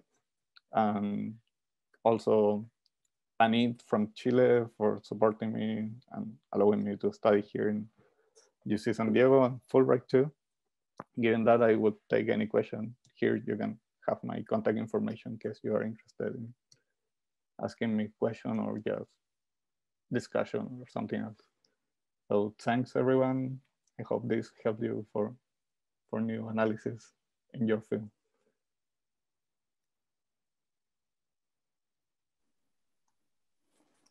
Hi, Eric. Thank you very much for your talk. We have a few questions here, mm -hmm. so we're going to start with those, okay? Um, aside from uh, ligand receptor pairs, what mm -hmm. other types of cell-cell communication processes can be captured with this approach? In case, for example, we want to unveil different cell-cell interactions, should we need to modify the methods? Well, usually these methods are very general. So you can apply for the whole data set you have, or you can subset if you are interested in a specific cell types. You can filter the other cells and just take the ones you are interested in. And you can start going into the details and, and see what you want to ask uh, or, or what question you want to respond. So you can so use the, you can choose the, the input yeah, yeah, you can choose, you can choose. Basically. if you have a okay so if you have a hypothesis of how they would interact then you mm-hmm. would use different sets right so yeah. just ligand receptor would be the more obvious one mm-hmm. so that's why i go with that and, and, even you can filter for example if you are interested only on surface proteins you can filter the interaction and just consider surface proteins and instead of the secreted ones and just study them uh, what are the main computational requirements to perform this type of analysis? Is it possible to run them on a laptop or would you recommend always using a server? So good question. and it, depends too. Um, personally, I've been running all my analysis on my laptop. so you can do that. Um, but also it depends on the size of your data set, right? If you have huge data sets and a lot of single cells, probably your laptop would be not enough for just loading the data set. So in that case, you, you might need a, a server. In the case of C. elegans, the data set wasn't a huge data set, so I, I could open it with my laptop and, and do all the analysis. And since I, I've been developing the cell-to-cell tool, I have everything on my laptop and as I was doing analysis, I, I, I, was changing the function of my tool to, to do a different analysis and so on. So it would depend on the size of what you're yeah. doing, but otherwise it would run, yeah. Mm-hmm. Uh, so great talk. Uh, how much of the predictions are validated? Maybe considering different tools, is there information about that of the percentage that have been validated? How does that work? So that's a, a good question too. Um, actually, in the cell-cell interaction field, that something that is really hard to do is a validation because you just have the transcriptomics and, and then you have some prediction, but you're not sure that those predictions are real or, or not in, in the way that could be a biological meaning. So for that, as I showed in the last slides, people are developing different technologies, like the one to trace the interaction with the viruses. Uh, other people have done other technologies to see uh, cells that are physically interacting or other people have used inhibitors of specific ligand receptor pairs and see whether they are having a function as expected given the interaction. So you can do those experiments or even as Nate showed before, you can go into the papers and, and see whether some people have reported something about what you found in that field specifically. That can give you an idea of how much confidence you can have in your results. And you, during the development of the tools that you do, do you look for that? Do you look for the validations? Um, yeah, usually, usually I've been, since I, am not doing experiments and I need to quickly have an idea of how good the prediction could be, usually I look into the papers and try and take data sets as the COVID one, where a lot of people have been working, so we have a better idea of what could be happening. We take those data sets and run the analysis and, and, and and see whether our predictions are consistent or not with what other people have reported. Okay, great. Um, and a final one here, thank you. Very interesting application of single cell RNA-seq. How do you detect the expression of non-protein ligands using single cell RNA-seq data? Do you detect expression of metabolic pathways associated to the non-protein uh, ligand synthesis? Well, that, that's something that could be done. And actually with Nate and other people in the lab, we, we have had that discussion before. And directly you cannot like have metabolites or other molecules that are not proteins, but there are other tools and other analysis in other fields that you can do. For example, in metabolism, uh, you can use gene expression to infer the activity of which uh, metabolic pathways are occurring those once you have an idea of what metabolic pathways could be happening, and especially in Nate's lab, uh, it, the metabolism is one of the biggest field in, in the happening in the lab. Um, you can infer, uh, okay, uh, now you have uh, this pathway happening, so these metabolites could be present, and and given that these metabolites could be interacting with other receptor in this other cell given their expression.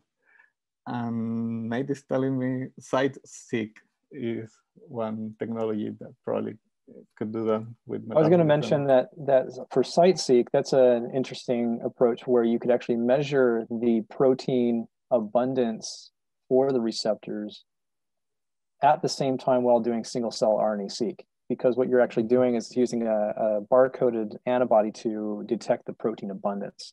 And some of these techniques would be incredibly powerful for going beyond just transcript correlations, and that, but actually measuring the protein abundances.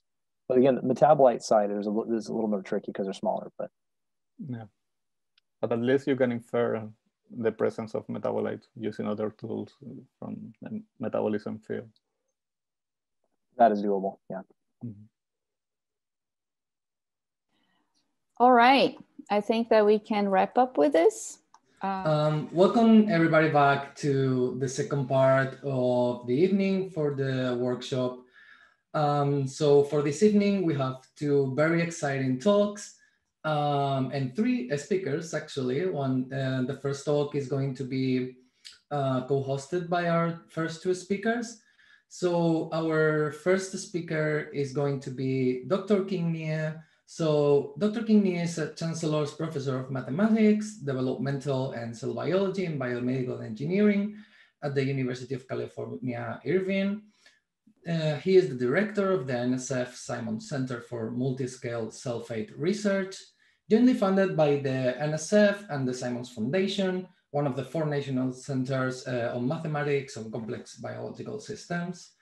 Um, so in research, he uses system biology and data-driven methods to study complex biological systems with focuses on single cell analysis, multi-scale modeling, cellular plasticity, stem cells, embryonic development, and their applications to disease.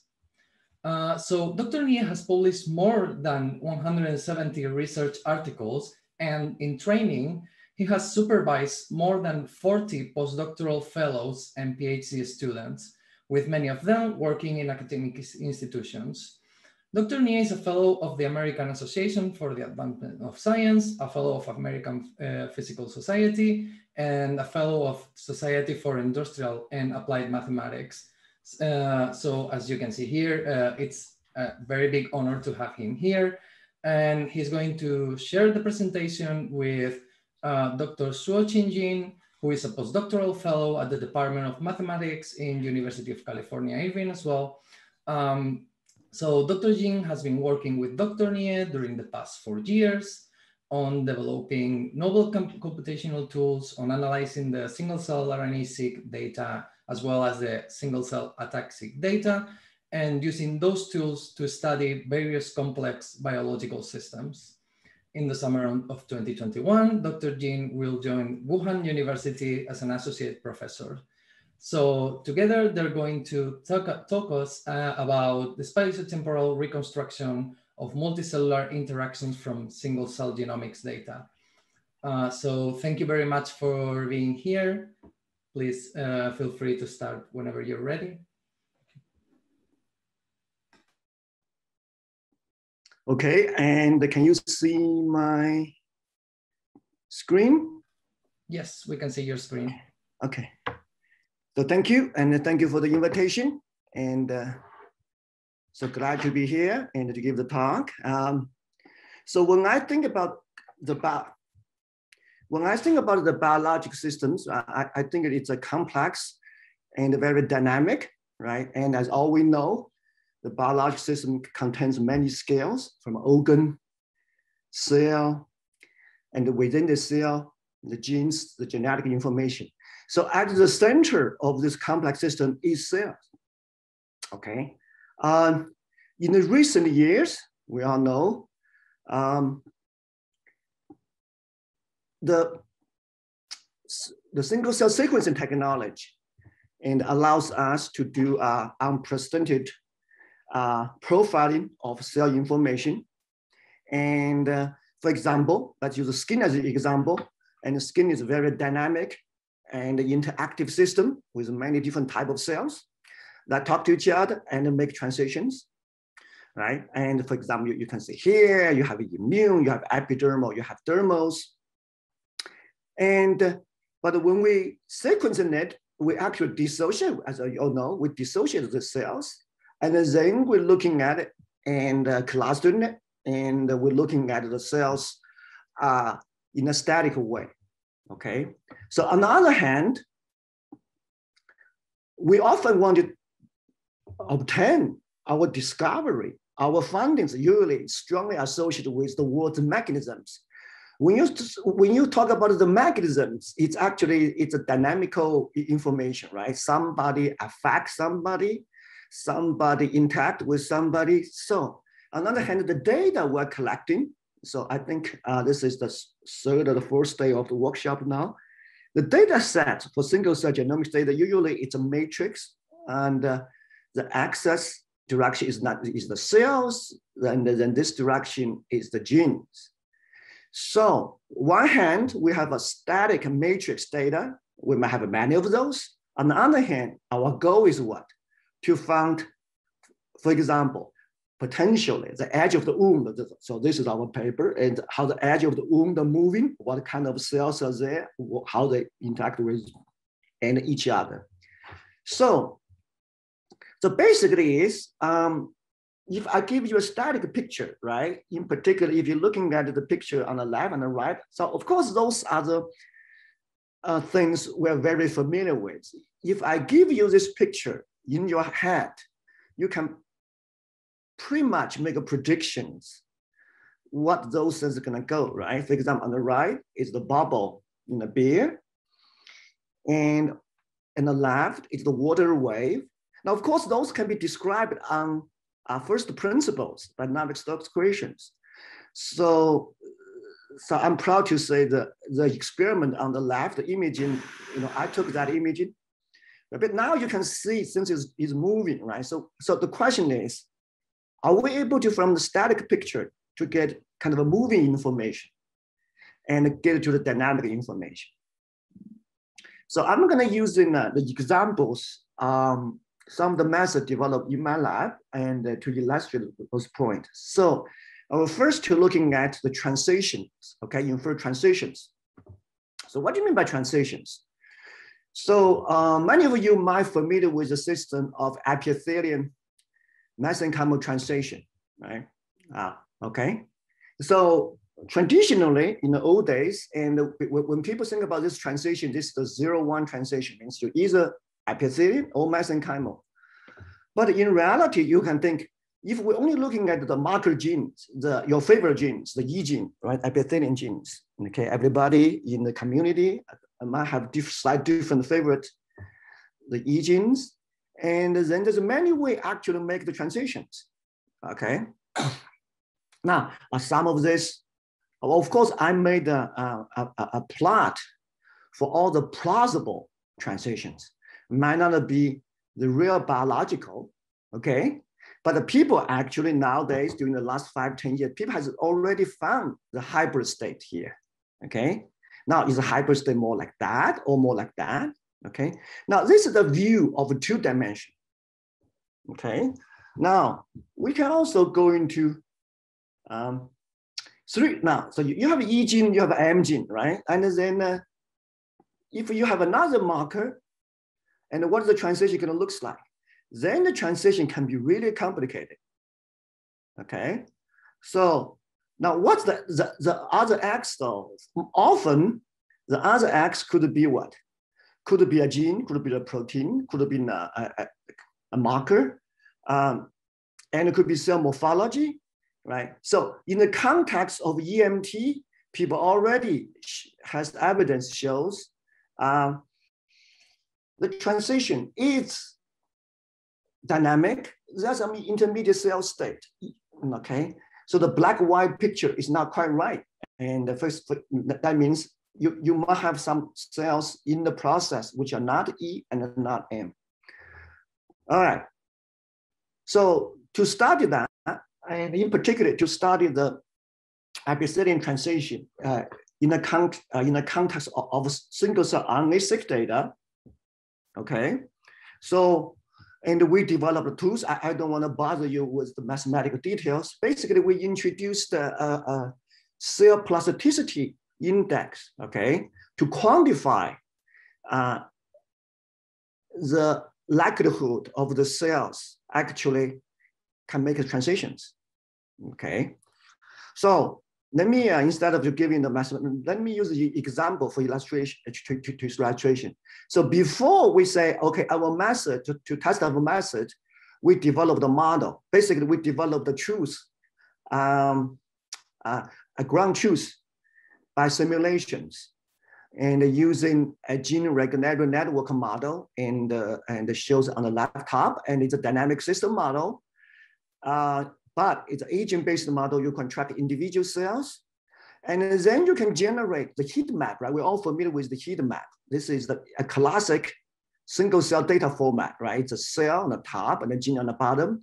But the difference here is instead of you have a static shot now, because it's, a, it's based on simulation, we can capture everything uh, in real time, uh, in time. And then we can uh, basically doing almost like a lineage tracing. We can track every cell, how it goes, okay?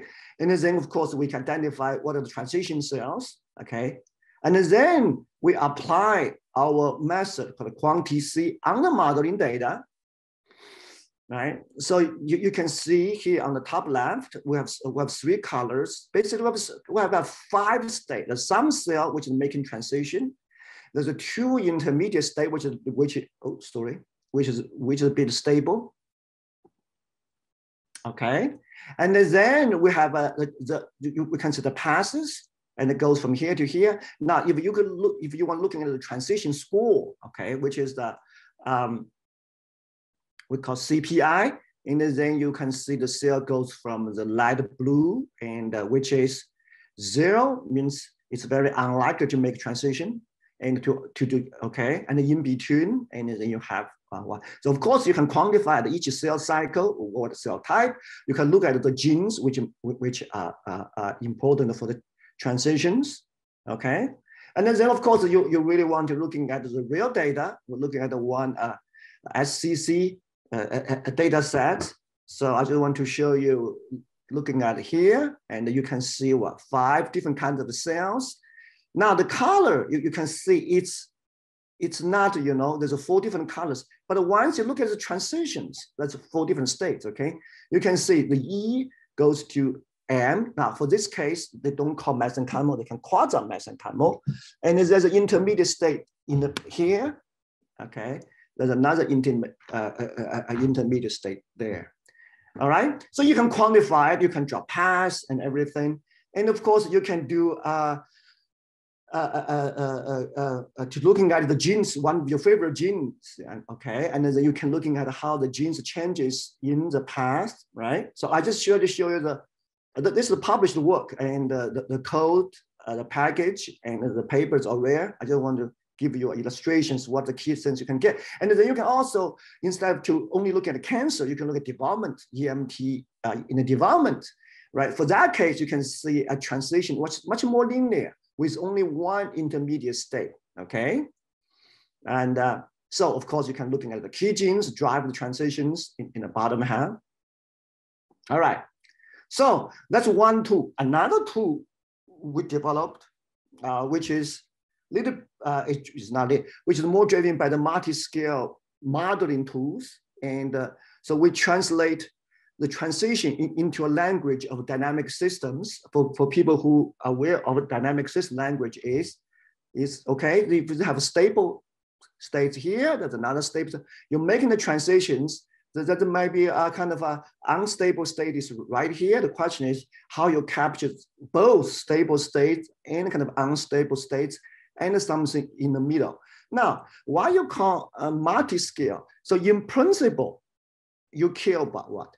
You care about one cell? No, not necessary. You might be care about a group of cells. And you that group of cell could be five cells, could be a whole cell, a whole uh, cluster of cells, right?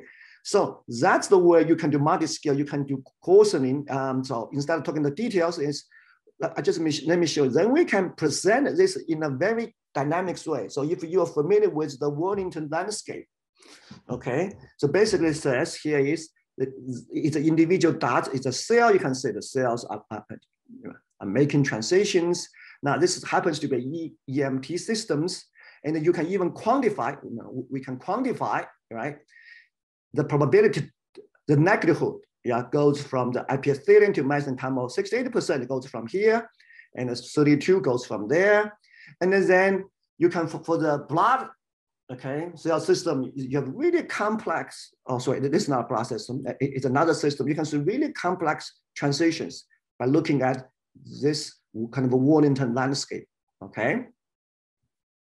And then um, now, Again, if you have so many cells, now that's the challenge you are facing now. How could you analyze so many cells at the same time. For example, if uh, we often now say uh, hundreds and of thousands, you know, 200,000 of cells, and we recently collect the wound healing system of 200,000 cells. Now, of course, tracking all individual cells is nearly impossible computationally in this way. Okay, then you can do coarsening. Coarsening means I can group them, right? And how to group them? You said, oh, maybe we just use the nearest neighbors and go So that will not work well, and we demonstrated. And then by using those approach, we can looking at the transition path. Okay, now this is an example has a very complex uh, uh, transition path, which is a blood uh, uh, uh, systems. Okay, so you can quantify and then you, you can you, you can draw the links and then to see very complex transitions. Okay, remember this is from a static data set. Okay, it's not like we we have many tempo points. Okay, all right. So um, so let me jump into, so this morning we heard I uh, talk about cell-cell communications and we're, um, so I, I, don't need to bother you with the details now. And Sujin will talk about more basic says, if let's focus on ligand receptor, right? If a center cell in the talking and the center the, uh, uh, release the, uh,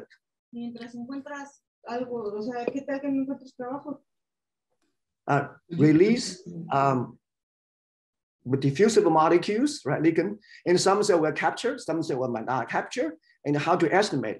So, so at the single cell level, at the individual cell level, and you can estimate through some simple um, probability calculations. So we did that about two years ago now. And then basically is we can quantify the, how the cell talk to each other by looking at the many individual cells as group. So in a, in a, in a simple language, basically is if cell A ligand high, and it can correlate a group of cell A ligand high, and then the receptor also high, the downstream signal also high, and then there's a high probability they actually talk to each other, right? So that's kind of guiding principle. Then we derived uh, a kind, uh, kind of interactions between different now of course, it's specific on BMP and TGF beta. All right. So the later today, and uh, Su Jin will be very specific to talking about uh, the tool, and he developed called CellChat. So I would like Su Jin to talk about more details. So what I want to say is, instead of say that the details of the tools, I say, now you also face a challenge though, because the original cell are all dissociated with most most of the uh, single cell data collected with the cells has very specific spatial information. Okay, so on the right, you're looking at actually is a picture of staining of two genes for skin. Okay, so you can see there's two genes on the right. That's that's beautiful, right? On the other hand, there's only two genes. If you're interested in some other genes and you will not be able to obtain. On the left, and it's a single cell RNA You have all the genes, but you don't have spatial information. Now, can you link them now? Right, so that's can you link. So we developed the tools instead to give you all the mathematical details. We we developed the tool called optimal transport. Basically, is you have distribution on the left and distribution on the right, and somehow we can connect them. Now, of course, if you have only two genes on the right, it's very difficult to connect. But if you have 30 genes, 20 genes, you can imagine if these two data sets coming from the same system, the must, the must have some similar patterns from the left and the right, right? Um, oh, I'm getting the questions. I will answer later about the transition. Sorry, I have totally missed. Okay. Um, so I will answer that later. So I just saw uh, questions. Yeah, don't, don't worry. I, I will um, I will read you the questions at the end of the talk. Okay, so and then uh, now by using that approach, let's let's use a simple example. And uh, because uh, uh it's not a simple example, this is a Drosophila. Oh, sorry, on the top left, it's a uh, uh, it's not Drosophila. The Drosophila is in the bottom right. It's the zebrafish, right? So it, it's a zebrafish. So they have a kind of spatial imaging. Okay, how many of us? 47 of them, but not a spatial imaging. For that case, it's not a spatial transcriptomes data. It's only individual genes and 47 of them. Then we stack them together. And then in the meantime, and they have the single cell RNA-seq data. And then we can use these two pieces of information, connect them, and then connect them to get spatial info, kind of get a spatial communication, the information kind of flow. Do you see the arrow? So basically says the BMP information basically going that way, and the the information goes to the, left to right, and the and the BMP go to left to the to the from the bottom to the top. Okay, and then you then you can looking for example on the right bottom. So for people who are familiar with the Drosophila system, the fly, this is the whole uh, fly embryo, right? It's a typical fly embryo system. You can do coarsening. So so 3.11 says it's really a subclass of a cell. Now, why it's a subclass of the cluster three? It's 3.1, right? It's a subclass of a. It's we based on the communication patterns. Okay. And then you, you can draw all sorts of informations, how they talk to each other. Of course, for this signal, and uh, was specifically looking at uh, uh, WG, which is wingless. Okay, it's it's uh, it's the homolog of the Wnt, right?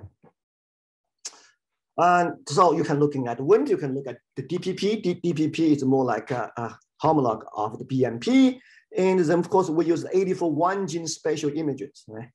And as well as the single cell RNA-seq data, we use our tools, I showed you the optimal transport tools, and then we can link them to gain such communication. Now, of course, this can be, our tool can be easily used on spatial transcriptome data sets, you know, if, for the, those who have single cell resolution, not all the, if you don't have single cell resolution, we still can use it, just whatever resolution you, you have, and then we plot it in, and then we're looking at the spatial mapping and the patterns. Okay, so now, the next challenge is, I think most of you is facing now. If it's a four, five years ago, this is not a challenge. Now with more data sets, and the data sets from different lab, and the data sets even from the same lab, but at a different time, okay, or, okay, or different uh, um, conditions, you know, disease, mutations, how are you going to integrate it? Now, the most challenging reason when you integrate such material set, then you then you face uh, two major things. You observe some differences, right? And uh, but the difference could be coming from two kinds. One is technical error, not necessarily error, technical variations because of different batches. Okay, we people here must know the batch effect, right? Or it can be intrinsic. Okay, so how to distinguish such a batch effect uh, and intrinsic effect, right? So, um, so we developed a, a, a mask called SMC, which published earlier this year. And uh, so instead, since I don't have much of time, I instead to give you the, what's the principle is, you know, we, so look at this. We, we want to, the, the goal is to find, to find the technique effect somehow subtracted out then whatever the, the, the variation you observe is biological as much as possible. Yeah, of course you cannot be get rid of all of them, and right, and then basically it's just by compare uh, different batches and and also compare the batches within. Oh, sorry, not batch. Compare the different classes within. For example, you have two group of cells, right? You have two group of cells. The, the, the, if the variation between between these two batches, okay, that, but they are the same, same type of cell. And another type of cell, their difference potentially can be computed. And if they're similar, you argue, wow, that difference could be technical. Okay, and then you subtract it. Okay, so that's the general principle. Okay, and then we compared with many existing uh, uh, uh popular uh, uh, method, right? Um, now, the nice thing is now there are many existing um, metric benchmark and to to test, okay, to test the you know how good they conserve the biological variation, how good they are uh, uh, be able to remove the batch effect. There's many uh, metric. Our metric, what we have, what you have observed here, but there's many numbers here. It's very hard for you to read. Okay, if you trust my words, is where were the best in terms of uh, maintain the biological variations. Oh, well, it's easy when you put in many data sets to integrate, you remove batch effect, so-called batch effect that, that might potentially contain biological variations, okay? So basically some of the methods tend to be over-aligned and, uh, and we compared here and the Seurat is one example, be over-aligned means they, they, uh, they tend to remove the two differences and by align two data sets. And this basically is an example of uh, showing, you know, the our method be able to find some new cell types, which and uh, H, uh, the, the new cell types right here, but somehow got removed uh, from other popular uh, method. And the one major strength because of our methods we, is after integration, we can get a very nice pseudotime trajectories.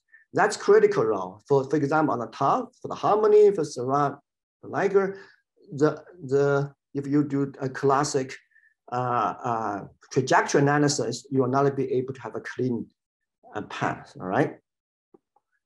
So of course, we, uh, you know, one another strength we can use a lot of batches, okay?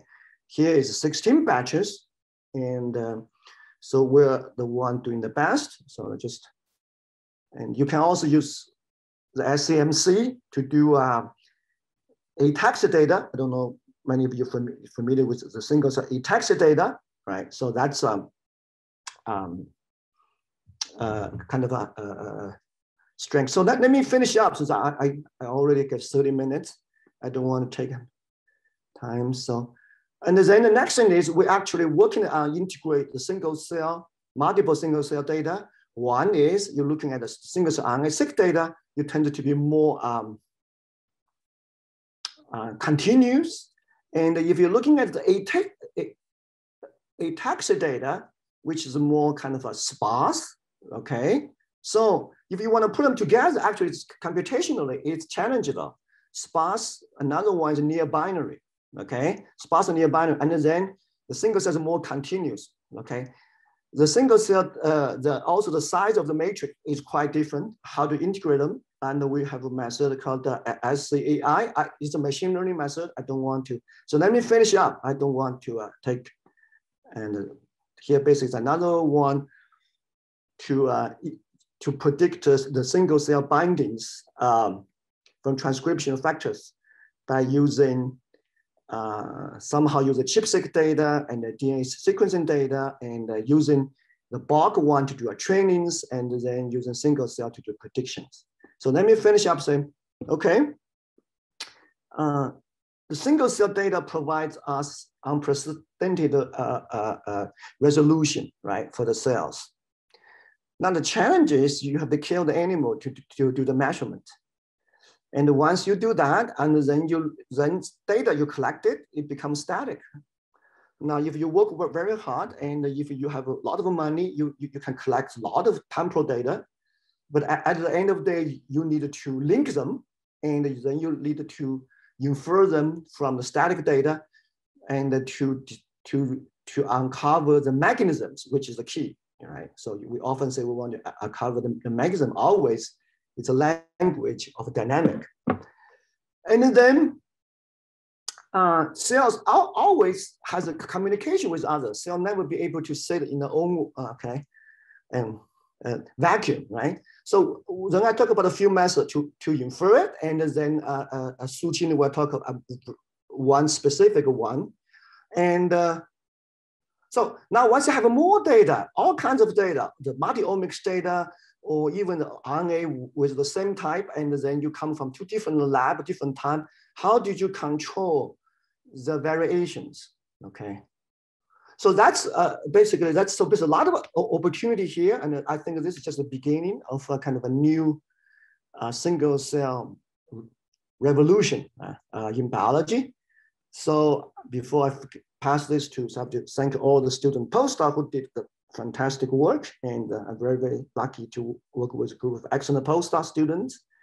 And thank you for your attention. So next I will give this to uh, Suoqin and uh, he will uh, give you more specific uh, description on his method CellChat. All right, so let me stop here. Thank you.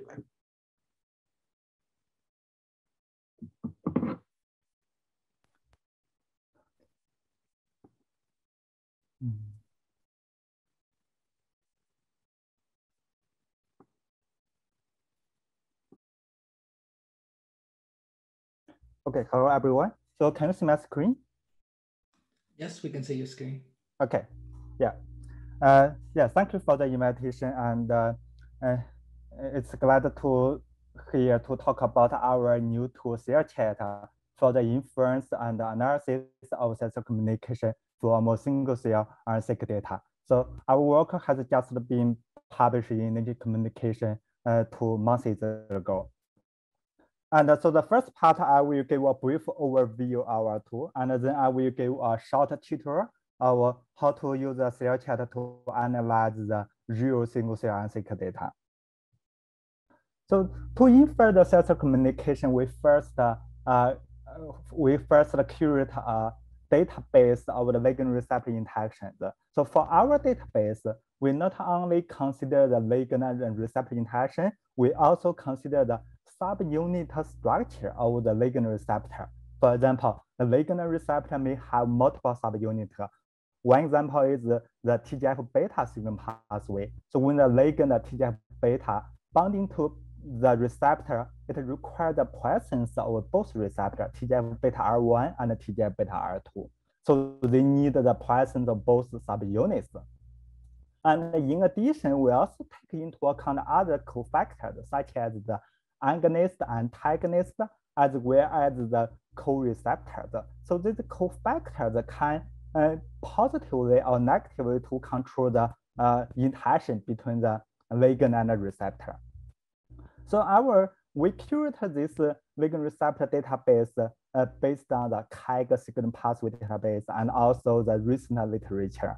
So, so in total, we have about uh, in our database, our database called CellChatDB, and we have about 2,000 ligand receptor pairs. And these ligand receptor pairs are classified into three categories, including the uh, secret signaling, ECM receptor, and the cell-cell contact. So all these interactions are actually have the uh, have the reference. These interactions are the literature that can support it. So in addition, we also create a website that allow users to easily to explore our database. For example, you can input a signal pathway name and then it returns all the ligand receptor pairs that are associated with this signal pathway. So we also have the, for example, this is uh, evidence where we create this ligand receptor pair. And currently, we have both the mouse and the human uh, interactions. Next, I will briefly to uh, show how we infer the cell-cell communication from data. So the first step is uh, identify the differentially expressed signal genes across the cell groups. So the second is that we calculate the average expression of the genes in a, a cell groups because we want to infer the cell-cell communication between cell groups instead of individual cells. So the third step is for particular ligand receptor pair, we can calculate the communication probability from cell group I to cell group G. So in this formula, we consider the entire consider the expression of the ligand receptor and also some other cofactors such as the agonist, antagonist, as well as the co-receptor and the subunit uh, subunits information. So the last step is we identify the significant communications using a permutation test. So basically using these four steps, we can infer a cell-cell communication network. Uh, so in this network, we quantify the interaction strengths using this uh, communication probability that are defined by this uh, formula. So we in, in, previously, we, we just talk about when we, uh, for example, here, we when we infer the cell-cell communication, we in, we quantify the communication probability for a particular ligand receptor pair. However, we can also uh, infer the set communication for a signaling pathway because in, in our database, we uh, classified the ligand receptor pair into a, a pathway based on the literature. So uh, how do we define the communication probability of a signaling pathway? So this is uh, uh, this was calculated by summarizing the probability of its associated uh, ligand receptor pairs. For example, this is uh, for example, for the TGF beta signaling pathway, and uh, here we show the contribution of each ligand receptor pair. Here we see that the TGF beta uh, beta 1 signaling is the major signaling. So in the TGF beta signaling pathway. So in summary, so cell chatter can infer the cell communication network for both individual ligand receptor pair and the signaling pathway. So this is the overview of our, our framework of cell chatter. And uh, so after you get the cell communication network, so cell chatter provide different ways to visualize this complex cell communication network. For example, you can use a hierarchy plot, the circle plot, chord diagram, and heat map. So these plots allow you to uh, visualize the cell communication for a particular ligand receptor uh, pair or a particular signaling pathway. And the bubble plot is useful when you visualize the cell communication networks for uh, uh, for for several ligand receptor pairs. For example, here the each row is a, a pair of ligand receptor, and each column is a communication from uh, one cell group to another. So in addition to the visualization, we also uh, provide different ways to interpret the uh, complex cell communication networks. So here we provide a several rapid analysis that allow you to do some uh, functional analysis. For example, here, the cell chatter can predict the signaling roles of the cell groups using the network centrality analysis. For example, it can predict which cell groups is the major sources, which cell group is the major target. And uh, also it can predict how does the cells and signals that coordinate for together using a pattern uh, analysis. So here, for example, there are different cell groups, and we find that some groups are associated with one pattern, and this, this pattern is associated with some other signaling pathways. And the third is that we can also pre can also predict the signals that have similar communication architecture using the manifold learning and classification approach. For example, here, this uh, in this low dimension space, we project the signal pathway or the social communication network associated with single pathway into this low dimension space. And then you can clearly see that some signal pathway are, uh, are close to each other and some signal pathway are separate from each other. So you can find the similarities between the signal pathway or the similarity between the cell communication networks. And uh, in addition to the individual data set analysis, we also provide different ways to analyze the, uh, to perform the comparison analysis for the multiple data sets. And so, for example, here is uh, this bar chart can show the comparison of the number of interactions between the two data sets. And this one can heat map shows whether the communication between two cell groups is increased or decreased. And uh, this 2D plot shows that we jointly project the signal pathway from the two data sets. So for, for example, here the a square represents the signal pathway from data set one and a circle represents the signal pathway from data set two. So here, uh, using this analysis, we can identify uh, signaling groups that may be specific to one data set. And we may can also identify the signaling groups that are shared between two data sets. And this slack bar chart can allow you to uh, uh, to identify which signal pathway is, uh, is turn on or turn off from one condition to another condition. So in our paper, we have applied our method to both mouse and human single cell RNA-seq data sets. And I will not give a detail here, but you can find uh, our applications in our paper. So our package is uh, uh, implemented as a as a R package, and uh, it is freely available on GitHub. And currently, there are a lot of people are using it, and uh, our package is very easy to install using one command, and uh, it's very easy to use.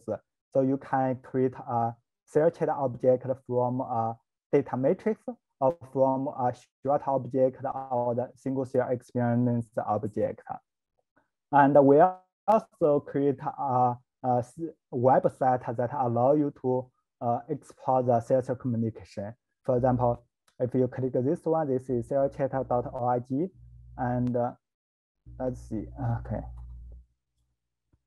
So on this website, you see that it uh, contains two major components. One is the ligand receptor interaction uh, database I just shown uh, before, and another is that the cell-cell communication networks that are analyzed by CellChat. So here you can, example, here you can input the signal pathway name and you can see the uh, communication network that are inferred by cell chat and also some other uh, analysis. Uh, so yeah, this is our uh, our online website that allow you to perform some interactive analysis. So next, in next few minutes, I will show you the uh, show you example how we use the cell chat to infer the sensor communication. So this is the GitHub. So you can go to the GitHub. And so on this GitHub, we provide a command that can install our package. It's very easy, just install GitHub. And uh, in some cases, you also need to instance. And uh, uh, importantly, we provide several tutorials that allow you to easier to use CellChat. For example, this is the first tutorial that can analyze a single data set, means a single experiment. So we have uh, a lot of uh, a lot of functions and uh, and all detailed about the function, uh, some detailed explanations and the result. So you can reproduce uh, all the analysis. And the second tutor is the comparison analysis of the multiple data sets. So you can here you can compare the uh, communication network between the different data sets. And uh, there are also some other tutorial if you have your own ligand receptor pairs and if you want to update our database, you we also provide a tutorial. And then I will uh, I will show example to how to run this uh, package. And uh, so here, first we show that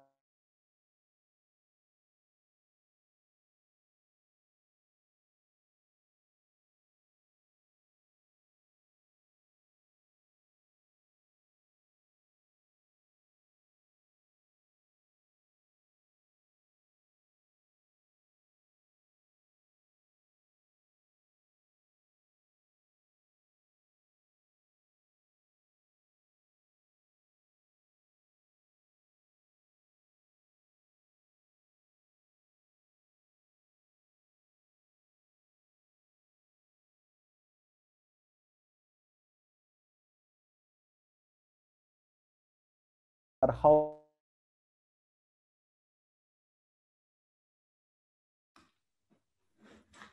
uh, I think we've lost we've lost him. I think he will come back. Don't worry. Oh, he's back. Sorry, I, yeah, I use a quick command that, that have, okay. Let's see how we can run it. Okay. Yeah, so this is the data matrix and this, uh, let's see you no longer share the screen. Oh, sorry. Can I see my screen? Yeah, now, okay. Okay, so let me run the code better. Ah, uh, I see. Okay, so this is data matrix. You can see that each row is a gene and each column is a cell. So this is a normalized data, means that that is normalized by the, for example, the log transformation. And uh, this is the metadata. Metadata contains the information of the of the cell groups. For example, you can see that this is the barcode, and uh, you must have a column called the labels. This is the cell group information that we will use to infer the cell communication. And uh, yes, so this is only two input, one is data matrix, another cell group information. And then you can very easier to create a, a CellChat object here. Yeah, so using the CellChat object, the next step is that uh, we should set up the ligand receptor database. So if you use a human data set, this is called the cell chat.human. And if you use a mouse data set, it's called the cell chat.mouse and you can uh, you can use this data data, data uh, base and uh, this is just show the show the database. So this give an overview of our database. And here I just select the secret signaling because here you see that there are different categories. And uh, then we can uh, assign this uh, the database we select to the object. And then the next step is that this subset data is just used to uh, get a portion of the signal uh, to save the memory when you run the data. Uh, so let's just run this step. And this step identify the overexpression genes. This is our first step in I just talk about is identify the differential expression genes. And we can also identify the uh, differential expression interactions because we want to infer the cells communications for uh, specific cells communications uh, for particular for some cell groups. Yeah. And uh, the co-function is this one. This allow you to infer the cells communications. So just one command, and this take about uh, 30 seconds.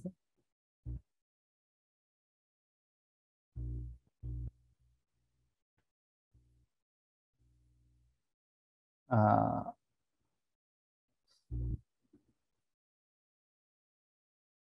yeah, this is this is the progression bar that can allow you to see the uh, progress of this function uh, of this running.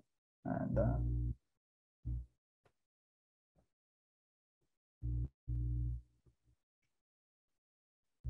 okay, so this is the command that can allow you to look at in, uh, such communication in a table. So this is a data frame. So you can see the source and target and the communication probability.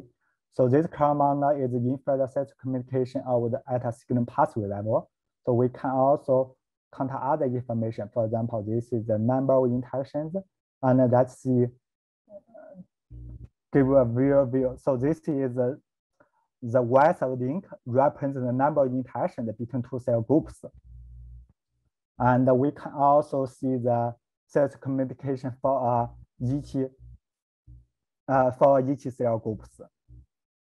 And uh, let's give an example to see a specific pathway. For example, this is CXCL pathway. We first use a hierarchy plot. So you see this one, and you can also use a, a use a circle plot here, as well as a chord diagram and uh, chord diagram and also the heat map. I will not show here. I can just show, okay. The heat map and uh, yes, you can also see the, this is contribution analysis here because here there is only one ligand receptor that contributes signaling. So this is, you only see a one bar. And we also, you, you can also save all the plot using this uh, for loop. And uh, this is the bar plot that can show the communication from for example, they show the, all the communication from the cell group A to all other cell groups. And uh, yes, so you can also plot gene expression to check their expression level. And uh, okay. Yeah, there are some other analysis I will not go detail here. And and uh, and in once you finish all the analysis, you can save this as an object for your future uh, reporting. And in next one, two minutes, I will quickly to show how we can use CellChat to perform a comparison analysis. So here, basically you first need to analyze each data set using CellChat. So first you have, for example, here we, uh, uh, so here we load the, load the CellChat object that are already analyzed for a normal sample. This is for a disease sample. And then we can simply to merge these two CellChat objects using the merge CellChat function. So now you have a merged function. This is called the merged CellChat object. So in a total, there are about uh, uh, 7,000 cells. And then we can compare the interactions between the normal sample and the disease sample. And we can also show the differential interactions. The differential interaction here, the red line represents the increased signaling, increased interaction, and the uh, blue represents the decrease in interaction. So you can, if you have more groups, you can also use the our the heat map. So you can see the the increase or decrease in interaction between different cell groups. And uh, this is uh, another plot to show, to compare the major sources and the target in a 2D space. So for example, here the axis represents the outgoing signaling and y-axis represents the incoming signaling. You can see that, for example, this one, the inflammatory dendritic cells become the major signal sources and target compared to the normal sample. And uh, yes, so you can also have, this is a manifold learning I just showed in the slides. And uh, yeah, you can see that we can project the signal pathway into a two-dimensional dimensional space for the two data sets. And uh, this one is uh, this one allow you to show that, for example, here shows that the, the red signal pathway represents they only appears in the normal sample, and the green uh, signal pathway represents that they are, they are specific to the disease sample. And the, the black one means that they have equal contribution uh, between the two data sets. And uh, okay, I think, uh, yeah, we finish this one. So this is just a specific pathway. You can show also compare the signal pathway between one data set and another data set. So once you finish all the analysis, and then you can save this as an object. Yeah, thank you.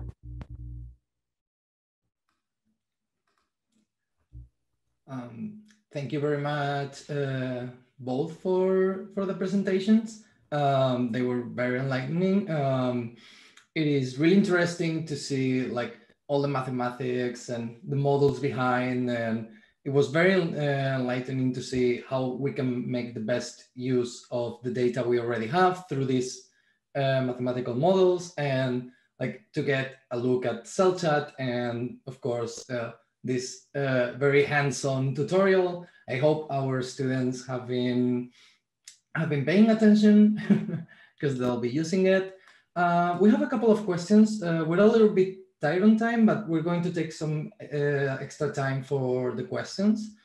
Um, so if you could stop sharing for now, uh, Suoqin. Okay, sure. Thank you. Okay, thank you.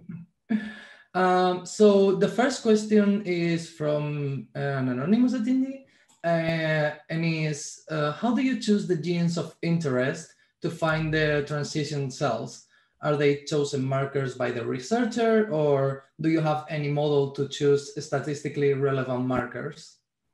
Yeah, we, we don't need to pre-select. Um, the method figured out, right? Now, of course, we, we, we needed to do something like uh, to looking at the top 5,000 hmm. uh, most variable genes, okay? That's the only start, that, that's the only thing. After that, the, the, the method will tell you what are the genes um, of your interest, what are the genes who changes a lot during the transitions. And uh, yeah, so one thing I want to point out that, that is people tend to, people has a clear idea of what, what a marker gene is, right? Means a gene which highly uh, expressed specifically mark one particular state of cells, okay? Hmm. Now, the most the marker gene might not be the most important gene in the transition. Okay, people tend to think, well, if if if the basic says if the epicyclian genes marks epicyclians, then epicyclian gene must be more most important to to know. The epicyclian genes could be passive, driven by other genes, which is not a marker genes for the epicyclian to drive the transitions. So you have to distinguish the genes drive, potentially drive the transition and the marker genes of the individual cell state we're all familiar with. Hmm.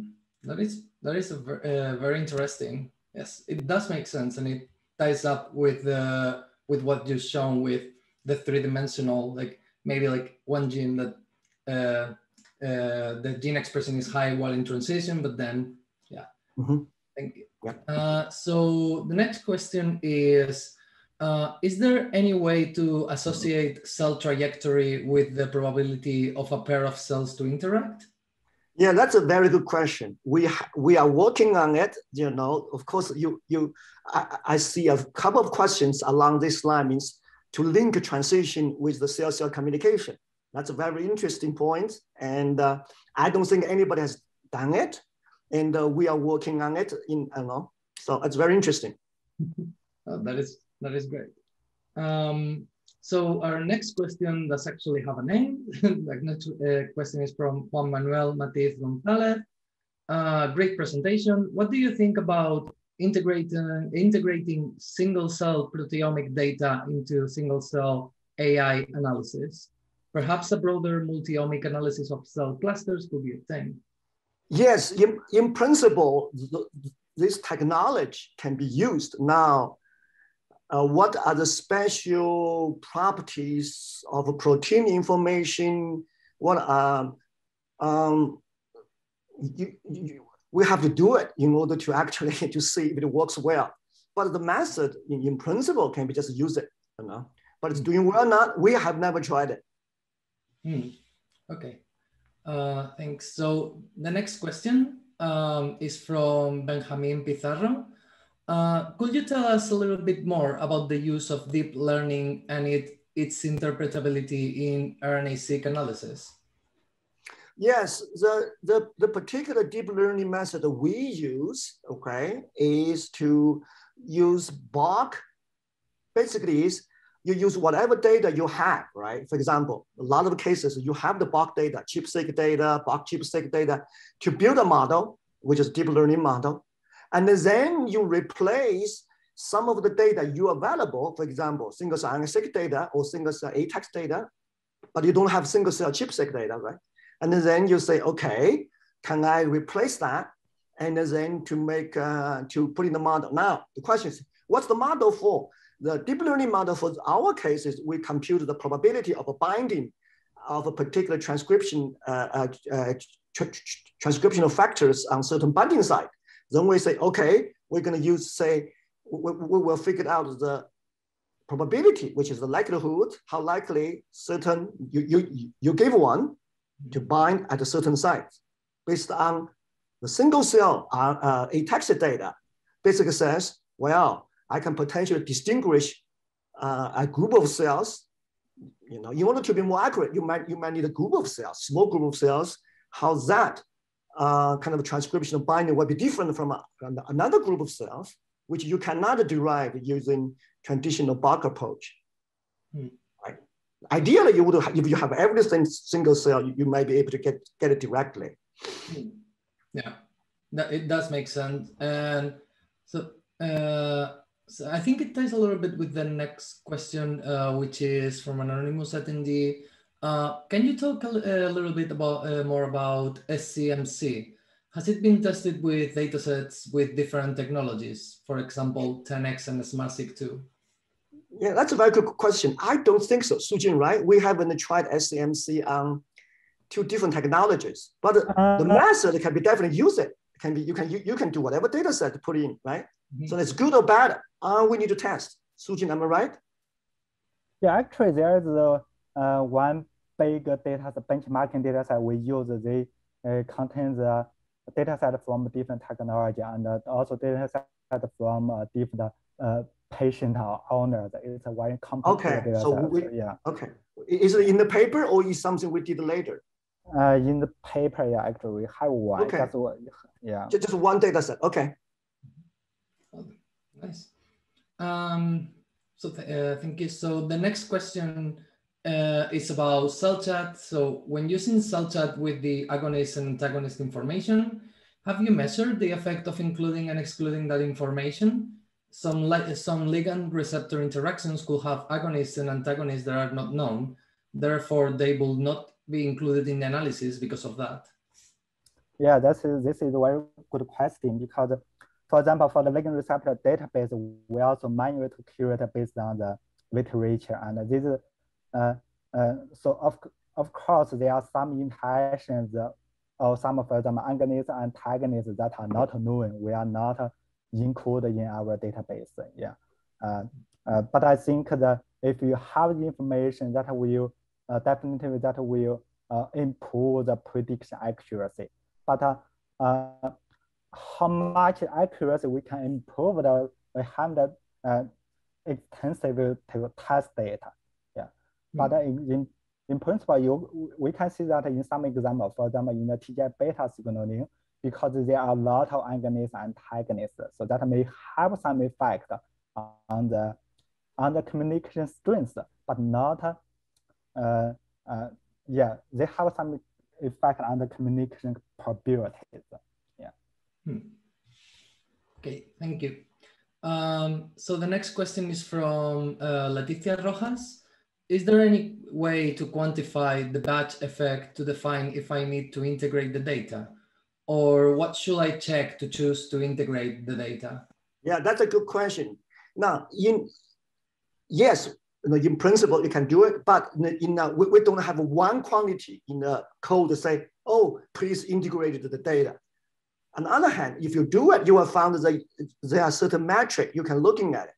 The numbers, we showed 16 of them. No, we did not invent them, okay? Other people invented the 16. When you're looking at it, you say, wow, we need it. Now, usually it's the following law. If you, for example, if you're looking at the patient's data, clearly the variability is big, you basically you have to use it for, for the human patient, right? And if you don't use it, it's very hard for you to compare. So basically the rule of thumb is, if you found something is really hard to compare, say, oh, I use Seurat to do one data set. I use the Seurat to do another data set. Then I put in the picture side by side and looking at it. If you, if you look at it, you can easily get the information you need. Potentially, you, you don't need to integrate. But mm. 99% of the time, the best way to compare the way you can you have to put them together to say, oh, but by putting them together, say, oh, that makes sense or not make sense, or the difference, all the same. So in order to answer that question, you already did the integration. The question is, now the integration method, my for some integration method, my smear out the, the true differences. Okay. Hmm. Uh, most of the method is the opposite. Is they tend to over um, uh, emphasize the similarity than the differences, okay? Rather than other way around. Yeah, that, that makes a lot of sense. Yeah, uh, thank you. So the last question uh, for today will be for uh, from Paulina Garcia. Uh, great presentation, thank you very much. Uh, what type of genes do you consider to model the cell transition? After inferring cell transition, for example, in DC development from hematopoietic precursors, can you determine how another pathway which may or may, or may not be involved in this transition changes? Yeah, that's a good question. You can, in particular for the second part of the, the question is, once you determine the transition path, you just can looking at the cells on the trans transition path because you already identify them. And then you're looking at the pathway and then you can percentage see, you know, this pathway, how much change in the other. Now, the question is, changing might be, might be a consequence of transition, might be the driving force of the transition. That need extra work, right? Basically, it's a causality relationship. It's, it's who caused what. It's in, in terms of just finding the changes, that's straightforward, okay? Hmm. And the first part, we don't need to pick up specific genes uh, to figure out transitions And uh, the, the translation genes is the outcome of the analysis rather than the input. Yeah, that does make a lot of sense. So thank you. Uh, that was the, the last thing, uh, the last question. Uh, thank you very much uh, for being here. Uh, you can stay if you want. um, but really, thank you very much uh, for the very wonderful presentations. I am of the opinion that we need more mathematicians on, on the biology field. I, I think that it's amazing what you can do with the data if you really look at it. Um, so thank you, everybody. Thank you. Uh, so we're going to move to our second speaker of the day. So for our second uh, talk, we'll have uh, Dr. Sonya MacParland, who is a scientist in the Ajmera uh, Transplant Center and the Schwartz Reisman Liver Research Center at the University Health Network, as well as an assistant professor in the University of Toronto's Department of Laboratory Medicine and Pathobiology and the Department of Immunology. Uh, so Dr. MacParland's research uh, program is focused on translating fundamental knowledge about the immune biology of the liver into clinical applications. Uh, Dr. MacParland and her research team are using advanced genomics, including single cell and single nucleus uh, RNA sequencing to describe the microenvironment of the, of the healthy and diseased human liver. Uh, her team is examining how the liver immune environment can be theoretically targeted and manipulated using nanoparticles to slow or reverse ongoing damage. And as you can see already in the screen, uh, she's going to be talking about mapping the human liver microenvironment in health and disease. Uh, many thanks for being here. Thank you very much for inviting me. Thanks to the organizers for inviting me. This sounds like a really awesome week of, of lectures and I'm looking forward to the discussions that that this, um, this, this week will lead to. So today I was asked to discuss uh, some of my research and, and my involvement or our work with the Human Cell Atlas Liver Bio Network and how that can apply to cancer research. And as opposed to the, the previous talk, I'm going to talk a lot about experimental design and, and a review of, of how we set up these single cell experiments and manage um, human and animal tissue, and, and also how we're using single cell transcriptomics to open up new models of cancer development. Great, so I'm a scientist in uh, tra the transplant program at Toronto General Hospital. And what I'm really interested in my lab um, as an immunologist is understanding the building blocks of the healthy human liver and how these repeating units, which are very well conserved in a healthy liver, are dysregulated within in, in liver disease. And really what we want to understand is not only how the parenchymal cells, such as the hepatocytes, the endothelial cells, and the cholangiocytes are behaving, but also what cells are being recruited in and out of the liver and how might this impact the development of disease and more importantly, how can we target this? So what we're looking very closely at are our tissue resident cells that are either sitting in the sinusoid or being recruited into the tissue. And so as I mentioned, we're not alone in this. We're part of uh, the, the, the Human Cell Atlas Liver Networks. This is funded by the Chan Zuckerberg Initiative. So it's a, it's a really neat group of researchers that are all kind of working together um, towards the common goal of mapping human liver diversity over a lifespan. So here, here is our group in Toronto. That's Gary Bader, Ian McGilvray, and Mei Zhang, and will um, and and these are the other researchers, and I'll show you kind of where they're all from um, in the upcoming slides. So what we're doing as part of this group is mapping human liver diversity over a lifespan. So we're looking at mapping fetal, pediatric, and adult liver. And what we're looking at doing is we're looking at optimizing and characterizing and, and, really well documenting the tissue collection, the sample processing and the profiling. And today I'm going to talk a lot about the tissue, the tissue collection, the sample processing, and how we um, functionally validate some of these cells.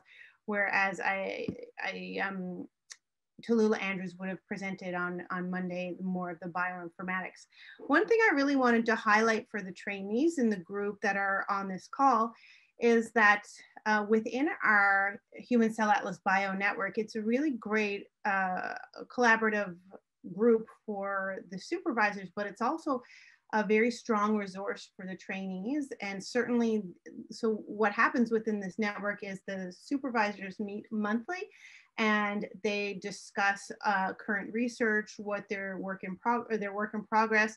Um, but the students also break out into three groups, a tissue processing group, a spatial transcriptomics group, and a computational biology group. And they workshop through their data uh, with their peers, um, all working on single cell and liver uh, on a monthly basis. So th th these group meetings, uh, monthly meetings are open to anyone. So you can contact us and um, you can certainly join these meetings. So it's a really good resource for, for the students. And these are student-led uh, training, PhD student and postdoc-led working groups. So what I want to talk about is the experimental design and how we kind of went, apart, uh went about asking a very simple question um, in, in 2018, and that was, what is the cellular makeup of a healthy human liver? So the objectives were very simple to create a comprehensive cellular map of the human liver. And we wanted this to provide a foundation for single cell liver disease studies. And so this work that I'm showing is a collaboration between my lab. And so I have a, a cellular biology, a liver immunology lab. This is Ian McGilvray's lab. He's a, a surgeon scientist and he works, uh, he works with models of, sorry, um, sorry, he's, he's a surgeon scientist and he has various models of liver disease and surgical interventions. And this is Gary Bader. He's a computational biologist, which I'm sure um, is, is no stranger to anyone in this room. So when we were setting up to, to start these experiments, we had had quite a few years of frustration with liver research, trying to culture hepatocytes and trying to uh, find ways to either promote their regeneration or to maintain them in culture. And what we found was that as soon as you start to dissociate a hepatocyte, those hepatocytes fall apart. So we really wanted to be able to capture a map that was as inclusive as possible so that we could understand networks of cells and how the immune cells interact with the parenchymal cells to maintain a homeostatic environment in the liver. So that really guided our acquisition approach in which we took tissue and this human tissue was made available to us um, as surgical discarded tissue during the transplant procedure. And what we did is we took that tissue and we cannulated it with its own vasculature. We did this so that we could rinse out any blood cells within the tissue itself so we could look at intrahepatic cells. And we also did this so then we could perfuse, very gently introduce enzymes into the tissue to break the tight junctions to disrupt this tissue, but to remove the need for mechanical dissociation. And the aim was to keep these hepatic fragile cells intact. So then we open the, the mesenchymal layer, we flip that tissue and release the cells. So what that did was, uh, and we did this all under um, 37 degrees, and we also oxygenated the, the buffers.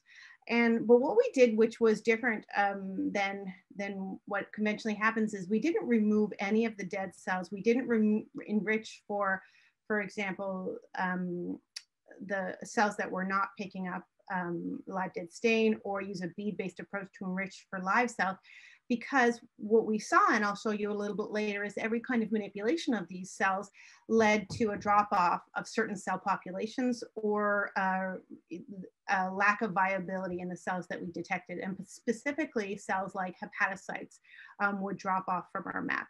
So when we, when we ended up with our total liver homogenate and we profiled these cells using single cell RNA-seq using the 10x platform, what we did is we included a, all the cells in the homogenate. So we ended up having quite a few dead cells that were had a very high mitochondrial transcript ratio and quite a few cells with low numbers of total UMIs. But we what we did is in the data analysis, we pre-selected on cells that had high UMI and a low mitochondrial transcript ratio. And so what that did was it gave us the chance to profile whatever is viable without enriching for dissociation resistant cells. And so um, what we ended up with was a map of five healthy livers and we saw uh, 8,400, we were able to profile 8,444 cells um, from, from five healthy livers. And what we saw were using this approach, we were able to see multiple populations of hepatocytes and these hepatocytes had genes that we thought correlated with um, being zone three or zone central venous or zone one uh, periportal function. Uh, we're seeing uh, only a slide with you, Ian McGilvray and Gary Bader. I don't know if you are uh, oh. like moving the slides and it's not showing. It's not moving? Okay, one second. Hmm.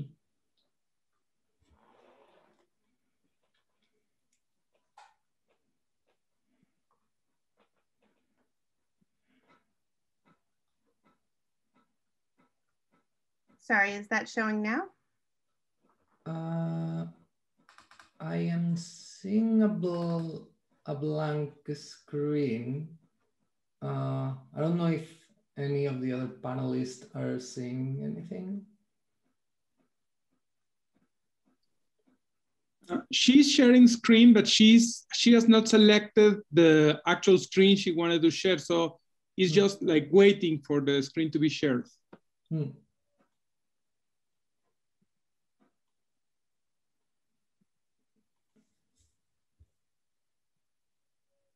How's that? Uh, no, we still cannot see anything. Okay, one second. Mm -hmm.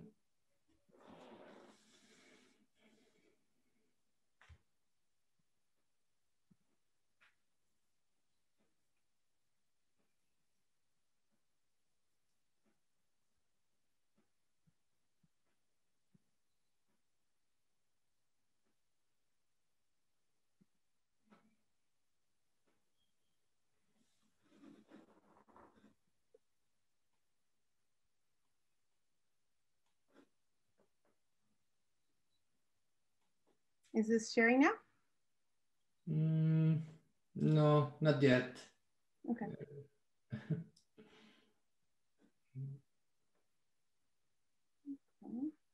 One second. Mm.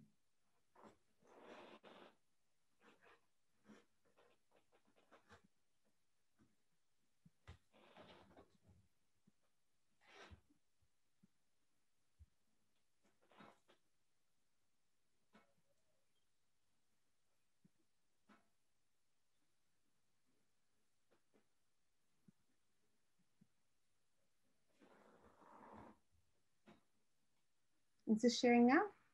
Uh, it's weird. It says that you have started the screen sharing, but like it's not showing anything. It's like as uh, Enrique said, that it's like waiting for. Mm -hmm.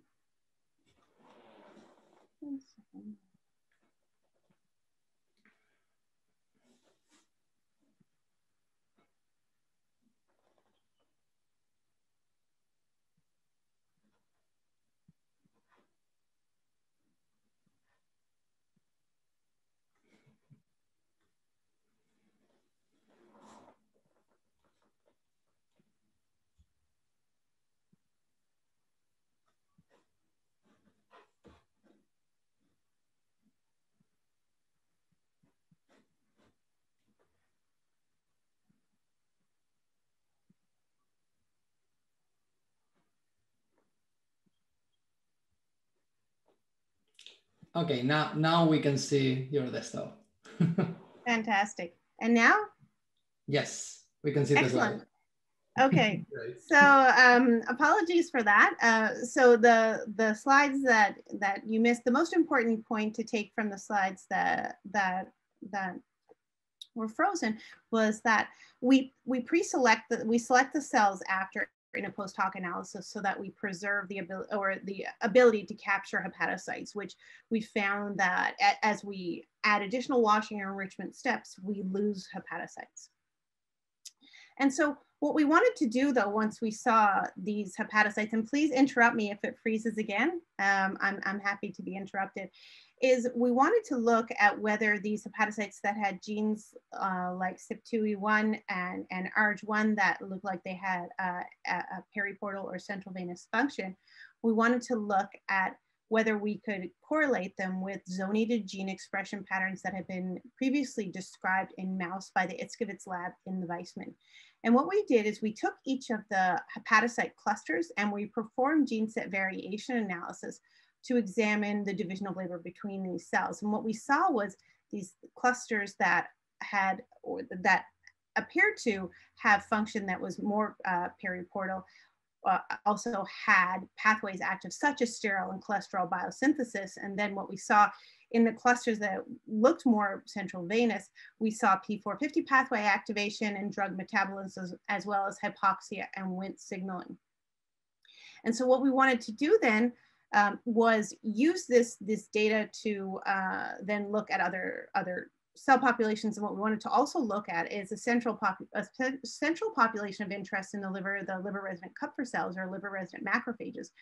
And we wanted to look at these macrophages in particular because if you, in an animal model of, of liver regeneration, if you remove all the macrophages, hepatocytes will not properly regenerate. So they seem to set the tone for homeostasis within the liver.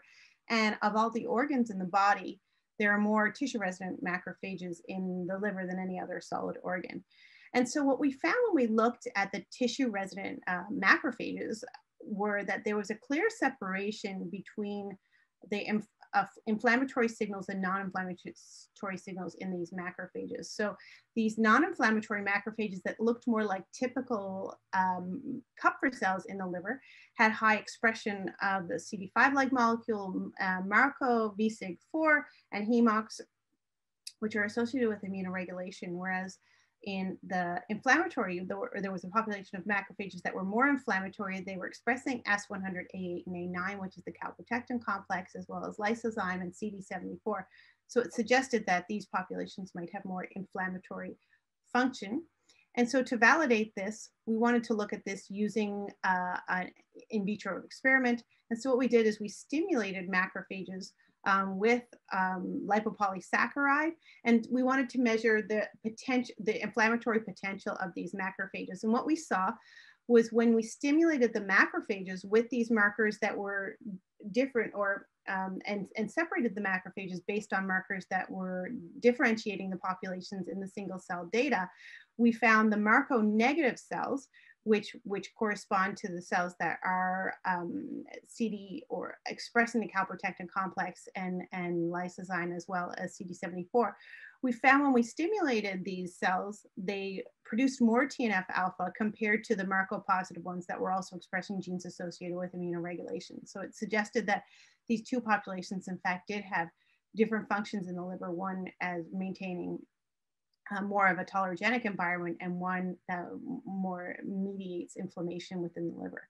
It's a very interesting uh, polarity and it's one that we can take advantage of in the case of liver diseases, especially liver diseases like liver cancer in which uh, immunoregulatory macrophages are found to prevail. And what I wanted to share uh, with the students is that as we were setting up these protocols, uh, we posted them on protocols.io. And so they're shared within the human cell development community. I'm sure you guys have um, lots of familiarity with this, but this is a this was a cool technique for, or a cool um, venue for the students to make comments on the protocols. If things weren't working, you can chat with the, the researchers that, that have posted the protocols and you can just ask questions um, and, and we found that it's a, a pretty good resource for sharing um, both the, the, the protocols and also getting feedback on the protocols.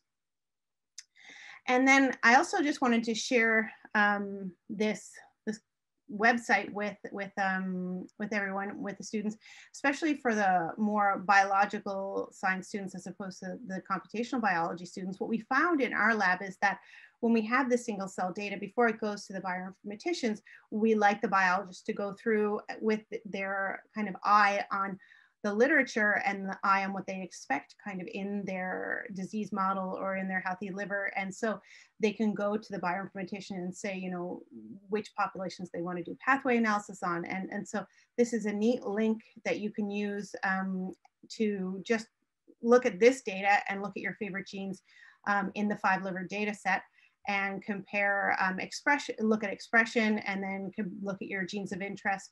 And this was set up by Brendan in, in, the, in the Bader lab. And uh, yep, so you can, you can select your genes. It's called single cell ClustViz. And, and it's, it's, a, it's a pretty neat tool to make the data very accessible to biologists. So as we proceeded from that, that first description of our healthy liver samples, we then wanted to talk about how we sample disease because the next kind of challenge we encountered was that these, these caudate lobes are uniquely available to us because of the fact that they are discarded during the transplant procedure.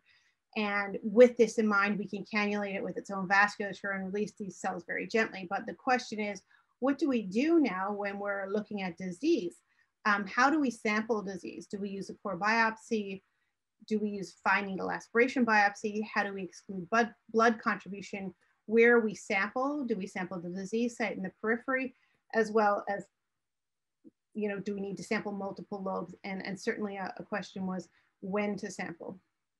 So this is one of our approaches to answer one of these questions, and I'll show you with um, additional data a little bit later, is one of the things that we're doing just to pilot the actual contribution of blood to biopsy tissues, either a core biopsy or a flushed wedge biopsy from liver, is to uh, at simultaneously sequence blood at the same time and then we gate out any shared signatures and analyze those separately from the, the signatures that have no blood contribution. So in orange, you see the cell signatures from the PBMCs. In green, you see the cell signatures from core biopsies.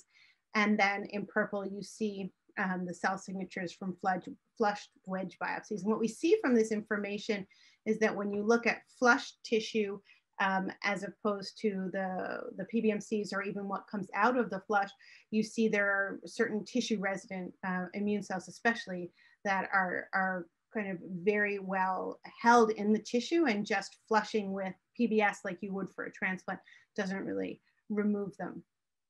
But what we found as we tried to enrich for different populations was that sample processing really affected cell output. And in particular, when we fractionated or tried to spin down cells, what we found was we lost a lot of the parenchymal cell population. So what, what happens was, what we found was the more we manipulated the, the cells to enrich for live cells, the more we found that we had mostly immune cells at the end and some very um, hard, hearty um, endothelial cells. But for the most part, we ended up enriching for immune cells, T cells, B cells, and, and, and macrophages. And um, also we've done this, so the previous experiment I showed you where we matched blood with tissue was in, um, was, was in pig. This is human biopsies, so we're also doing this in human biopsies. Again, we see that there are some populations that are found um, both, and so what you see in purple uh, is, is blood and, and also in green is blood. So these, these clusters right here. And then what you see in red, yellow, green, and blue.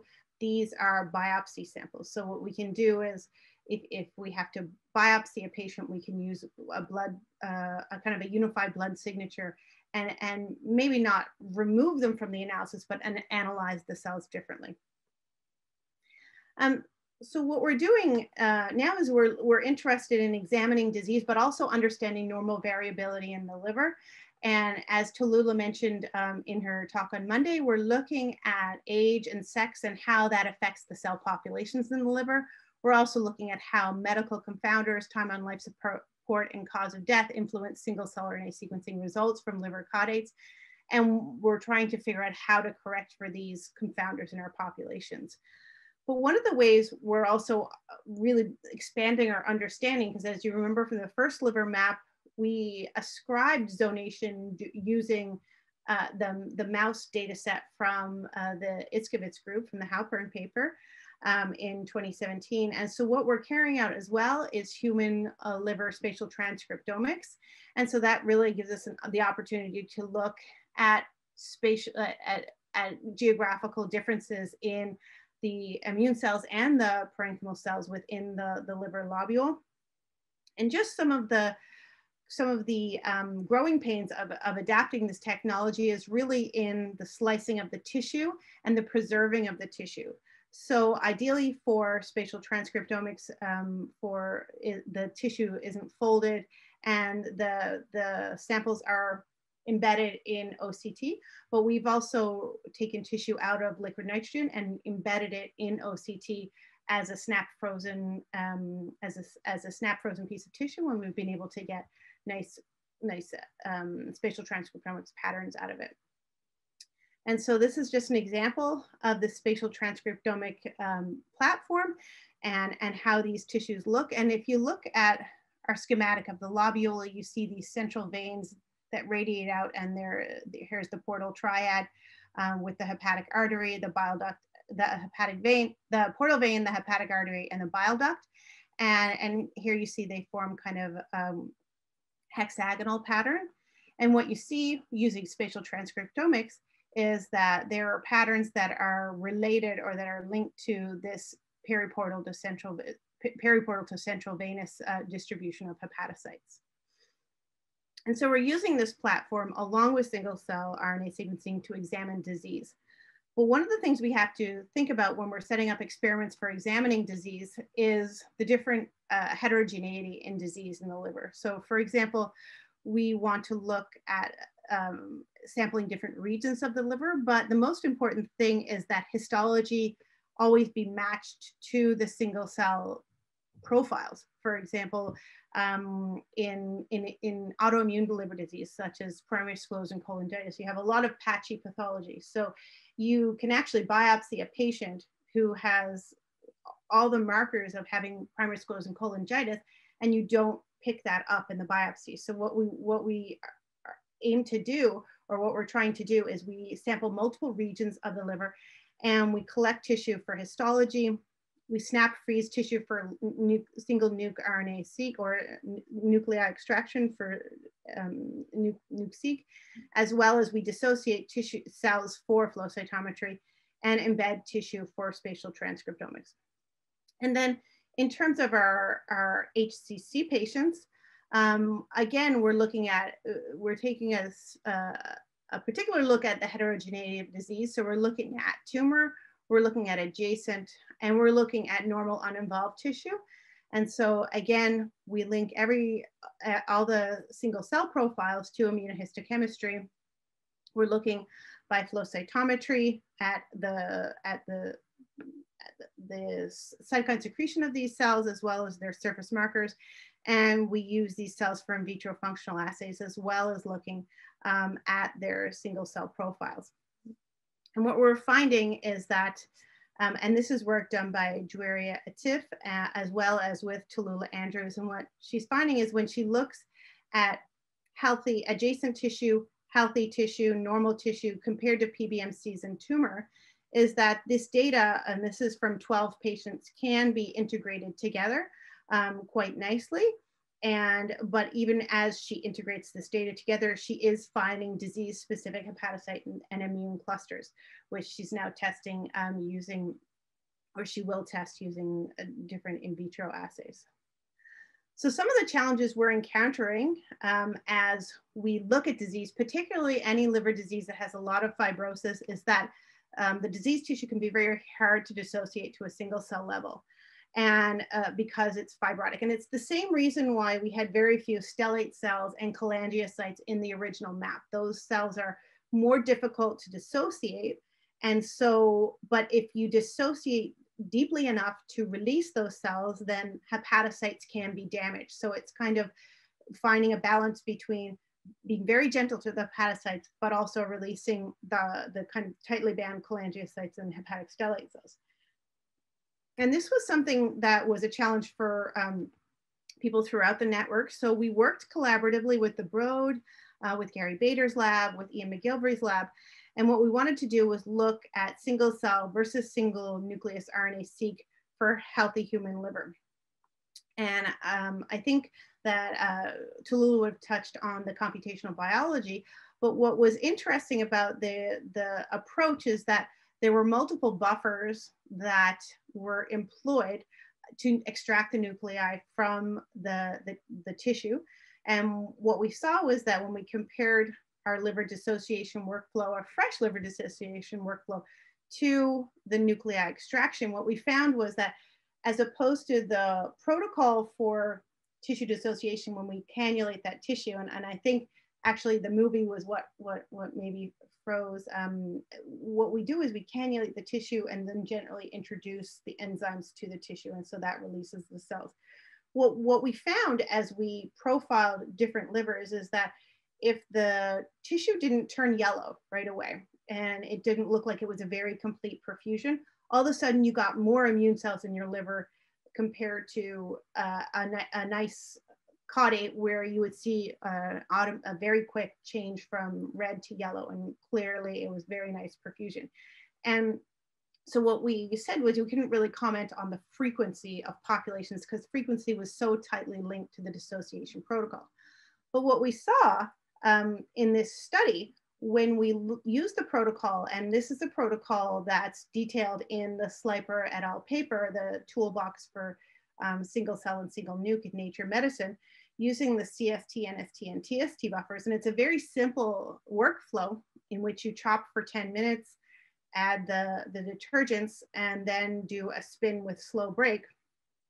What we found um, or what we asked was which, which populations are better at capturing each technology and how well are hepatocytes captured by each technology. What we found was actually that hepatocytes, endothelial cells, stellate cells, and cholangiocytes were better captured by single nucleus RNA sequencing and that the map itself was more representative of, uh, of what we would expect in the liver. Um, and so for the last, say, five minutes, I just want to talk about our efforts to use transcriptomics to open up animal models of liver cancer. So right now we have uh, access to very high quality human liver tissue, but it's impossible for us to study the longitudinal development of liver disease.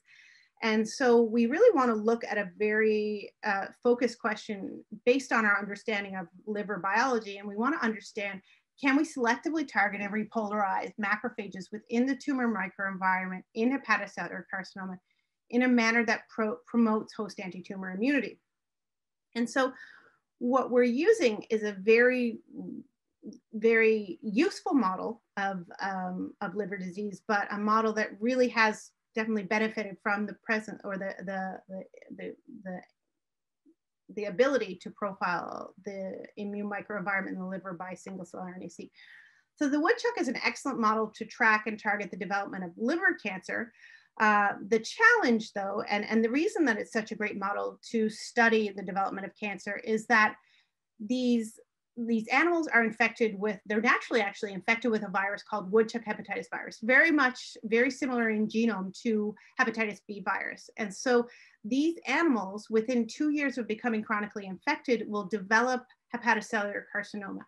And that's on an intact immunological background. They have spontaneous tumor development, and of course, it closely re recapitulates hepatitis B infection.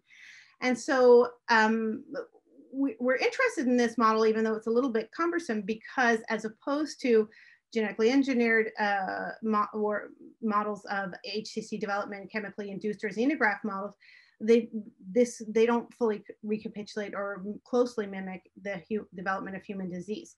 So what we've done in collaboration with Memorial University and the surgeons there is that we we monitor woodchucks for the development of HCC, and what we want to know is can we target macrophages within the HCC microenvironment to, to reprogram them uh, to promote host anti-tumor immunity? And this is us shipping uh, the woodchuck livers on, on peas.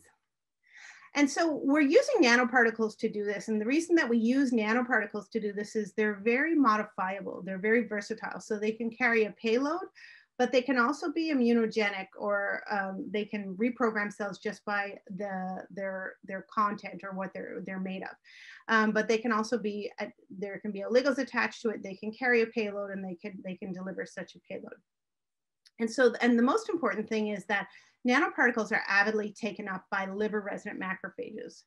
And what we've seen is that liver nanoparticle uptake in the liver depends on macrophage polarization in the liver. So if we look at a more monocytic cell, so this would be a monocyte in the blood compared to a more uh, immunoregulatory cell, when this is a in vitro derived macrophage that would express a lot of scavenger receptor and would be more like the macrophages that were Marco positive in our map, and we see that these macrophages that are Marco positive, um, that are uh, immunoregulatory, take up quite a bit or significantly more nanoparticles than more inflammatory macrophages, which is very interesting in the context of hepatocellular carcinoma because of the fact that macrophages in hepatocellular carcinoma that kind of line the tumor uh, are, have been found to be more immunoregulatory.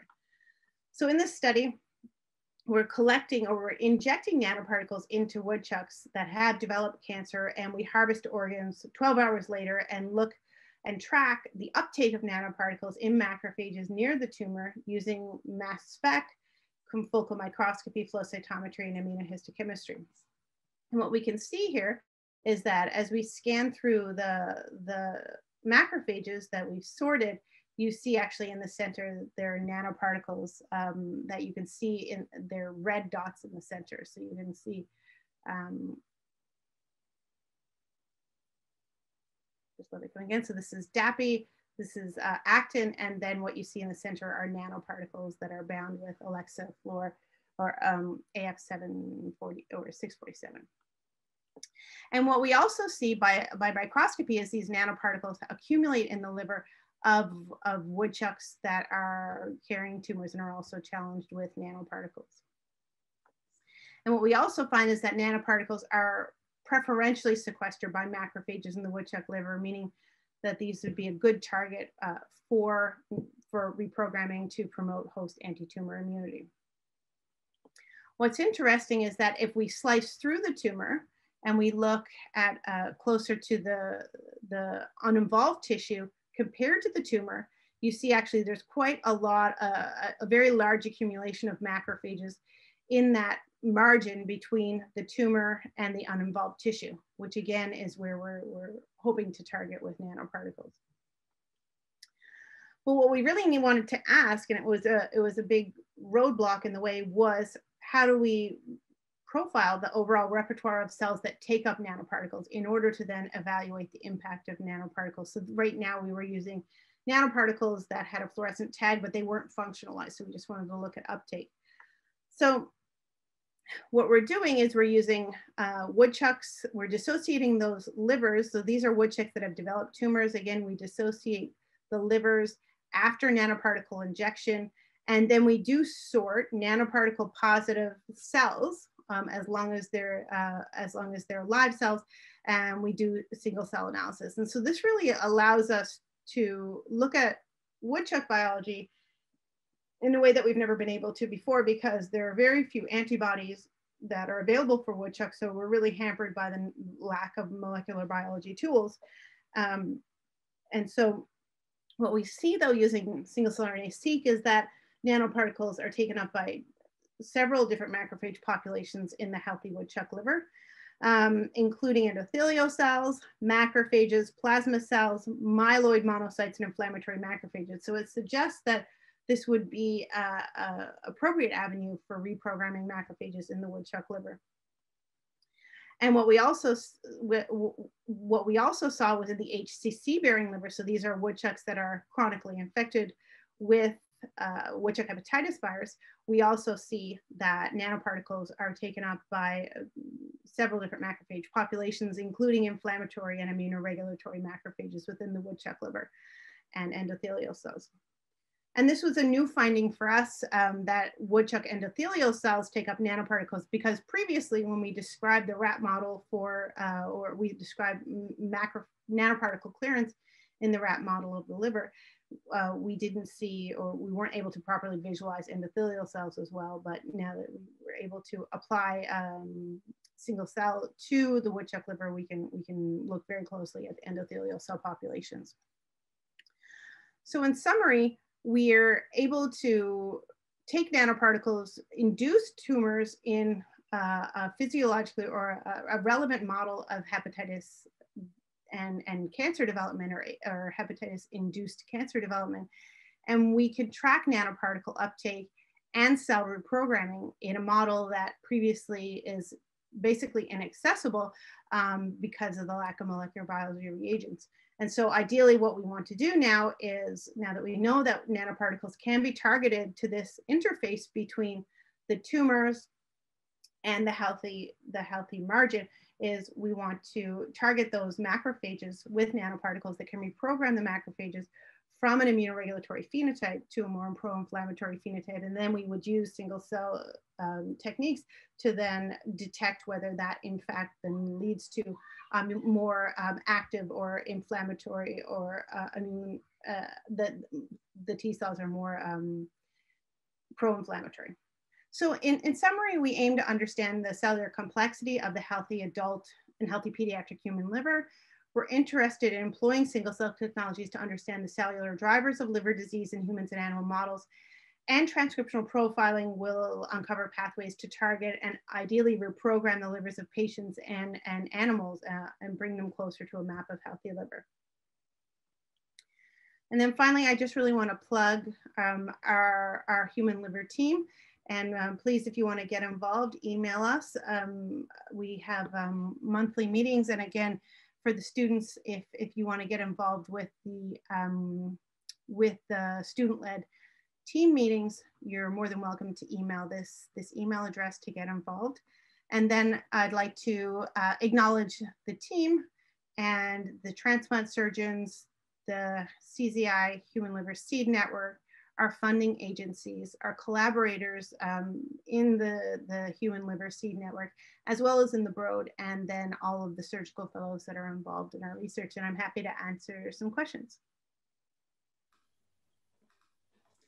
Um, many thanks. Um, so it, it, was actually really nice to see um, like this presentation, see like uh, the technical challenges and the like the experimental design and like how you overcome those technical challenges and see the results. It's really nice and also very surprising to see woodchuck being used as a model animal.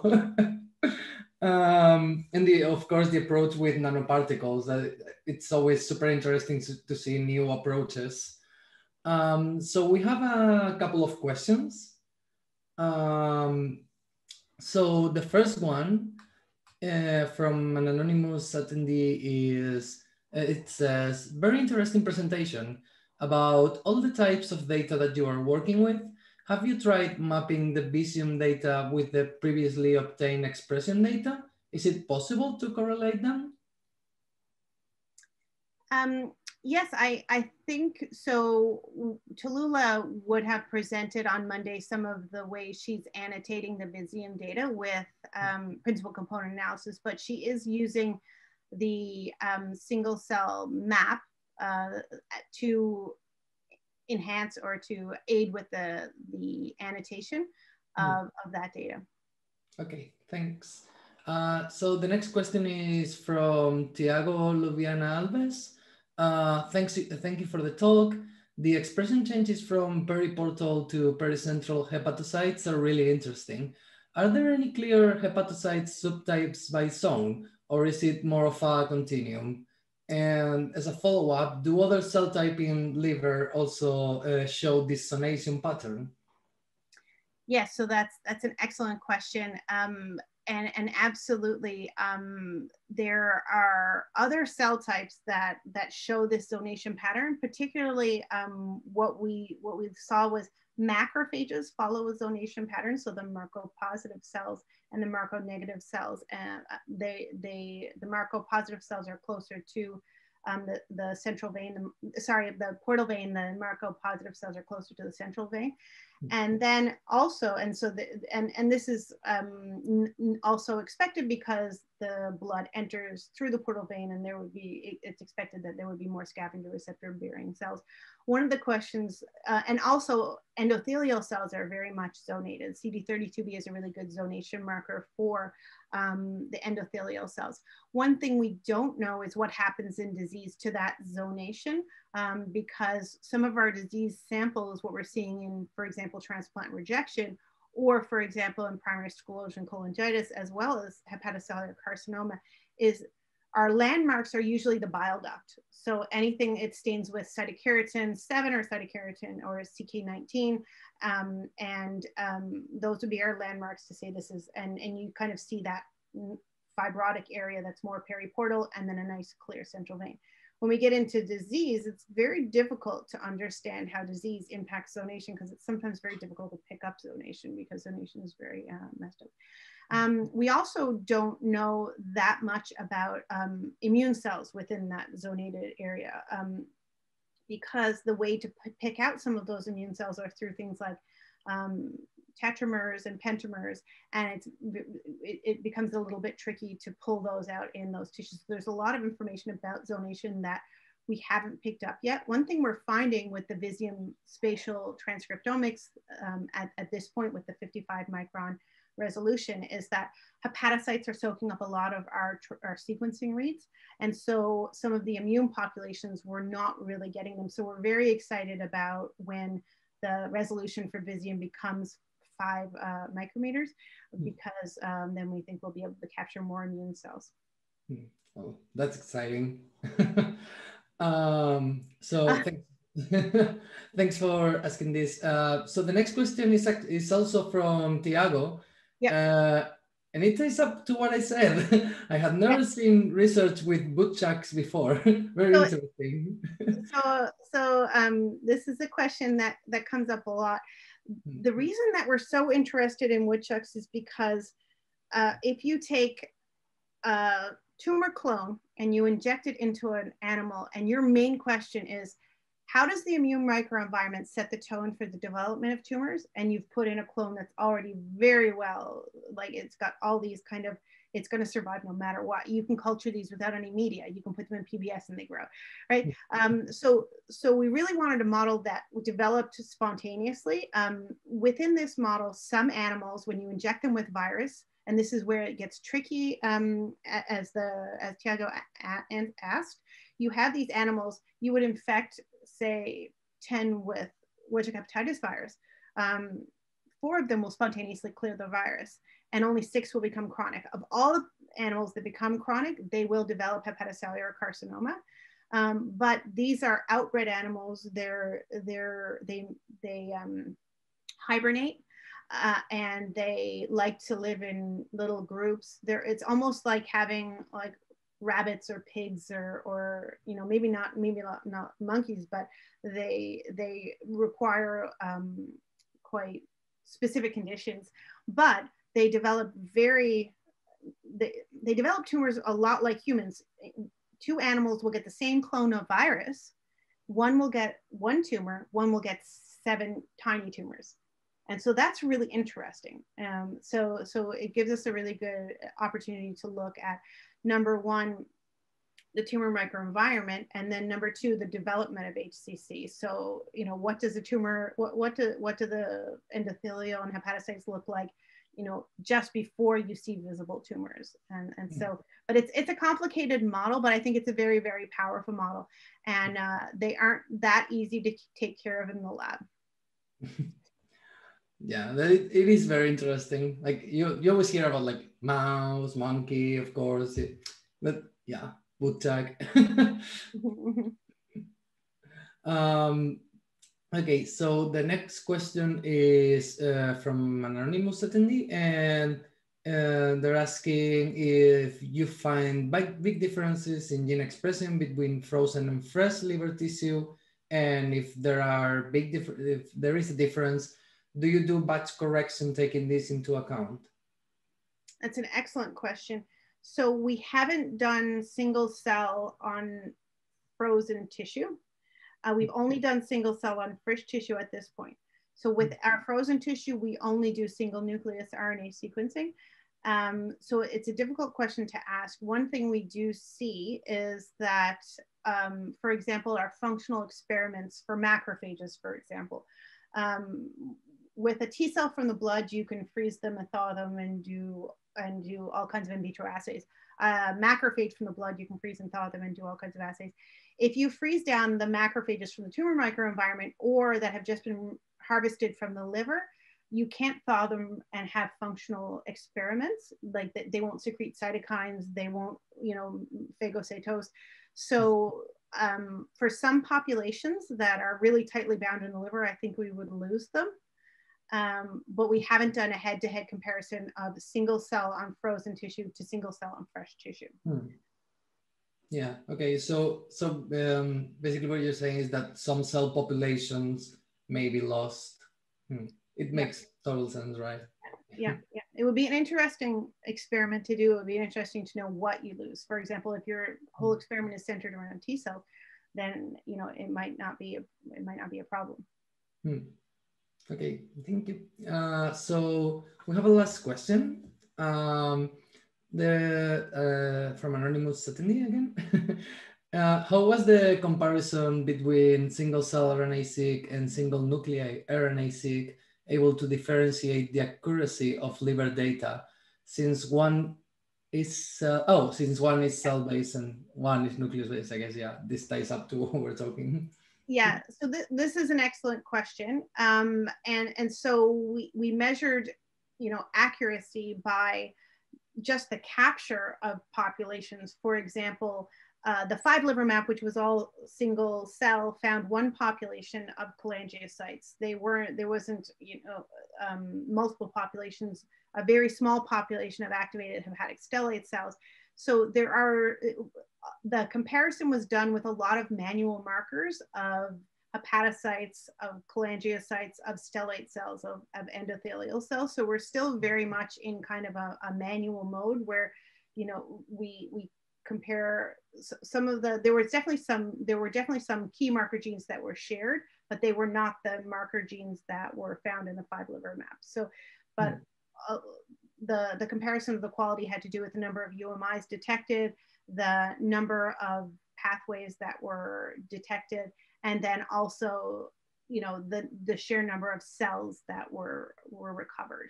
And what we found was that the single nuclei um, one thing that was interesting too is the single nuclei no matter how which approach you use to dissociate the nuclei the map was very similar. Whereas if you use a different approach for any step of a single cell run for a, a, dissociation for single cell, we would see changes in the map. So it was more what the map looked like and how comparable it was. That is very interesting. Hmm. Um, so I think we're done with the questions and we're actually right on time. um, so thank you very much. It was a wonderful presentation. Uh, thank you for taking your time to prepare and like be here. And uh, I'm sure the students will uh, have taken like have learned a lot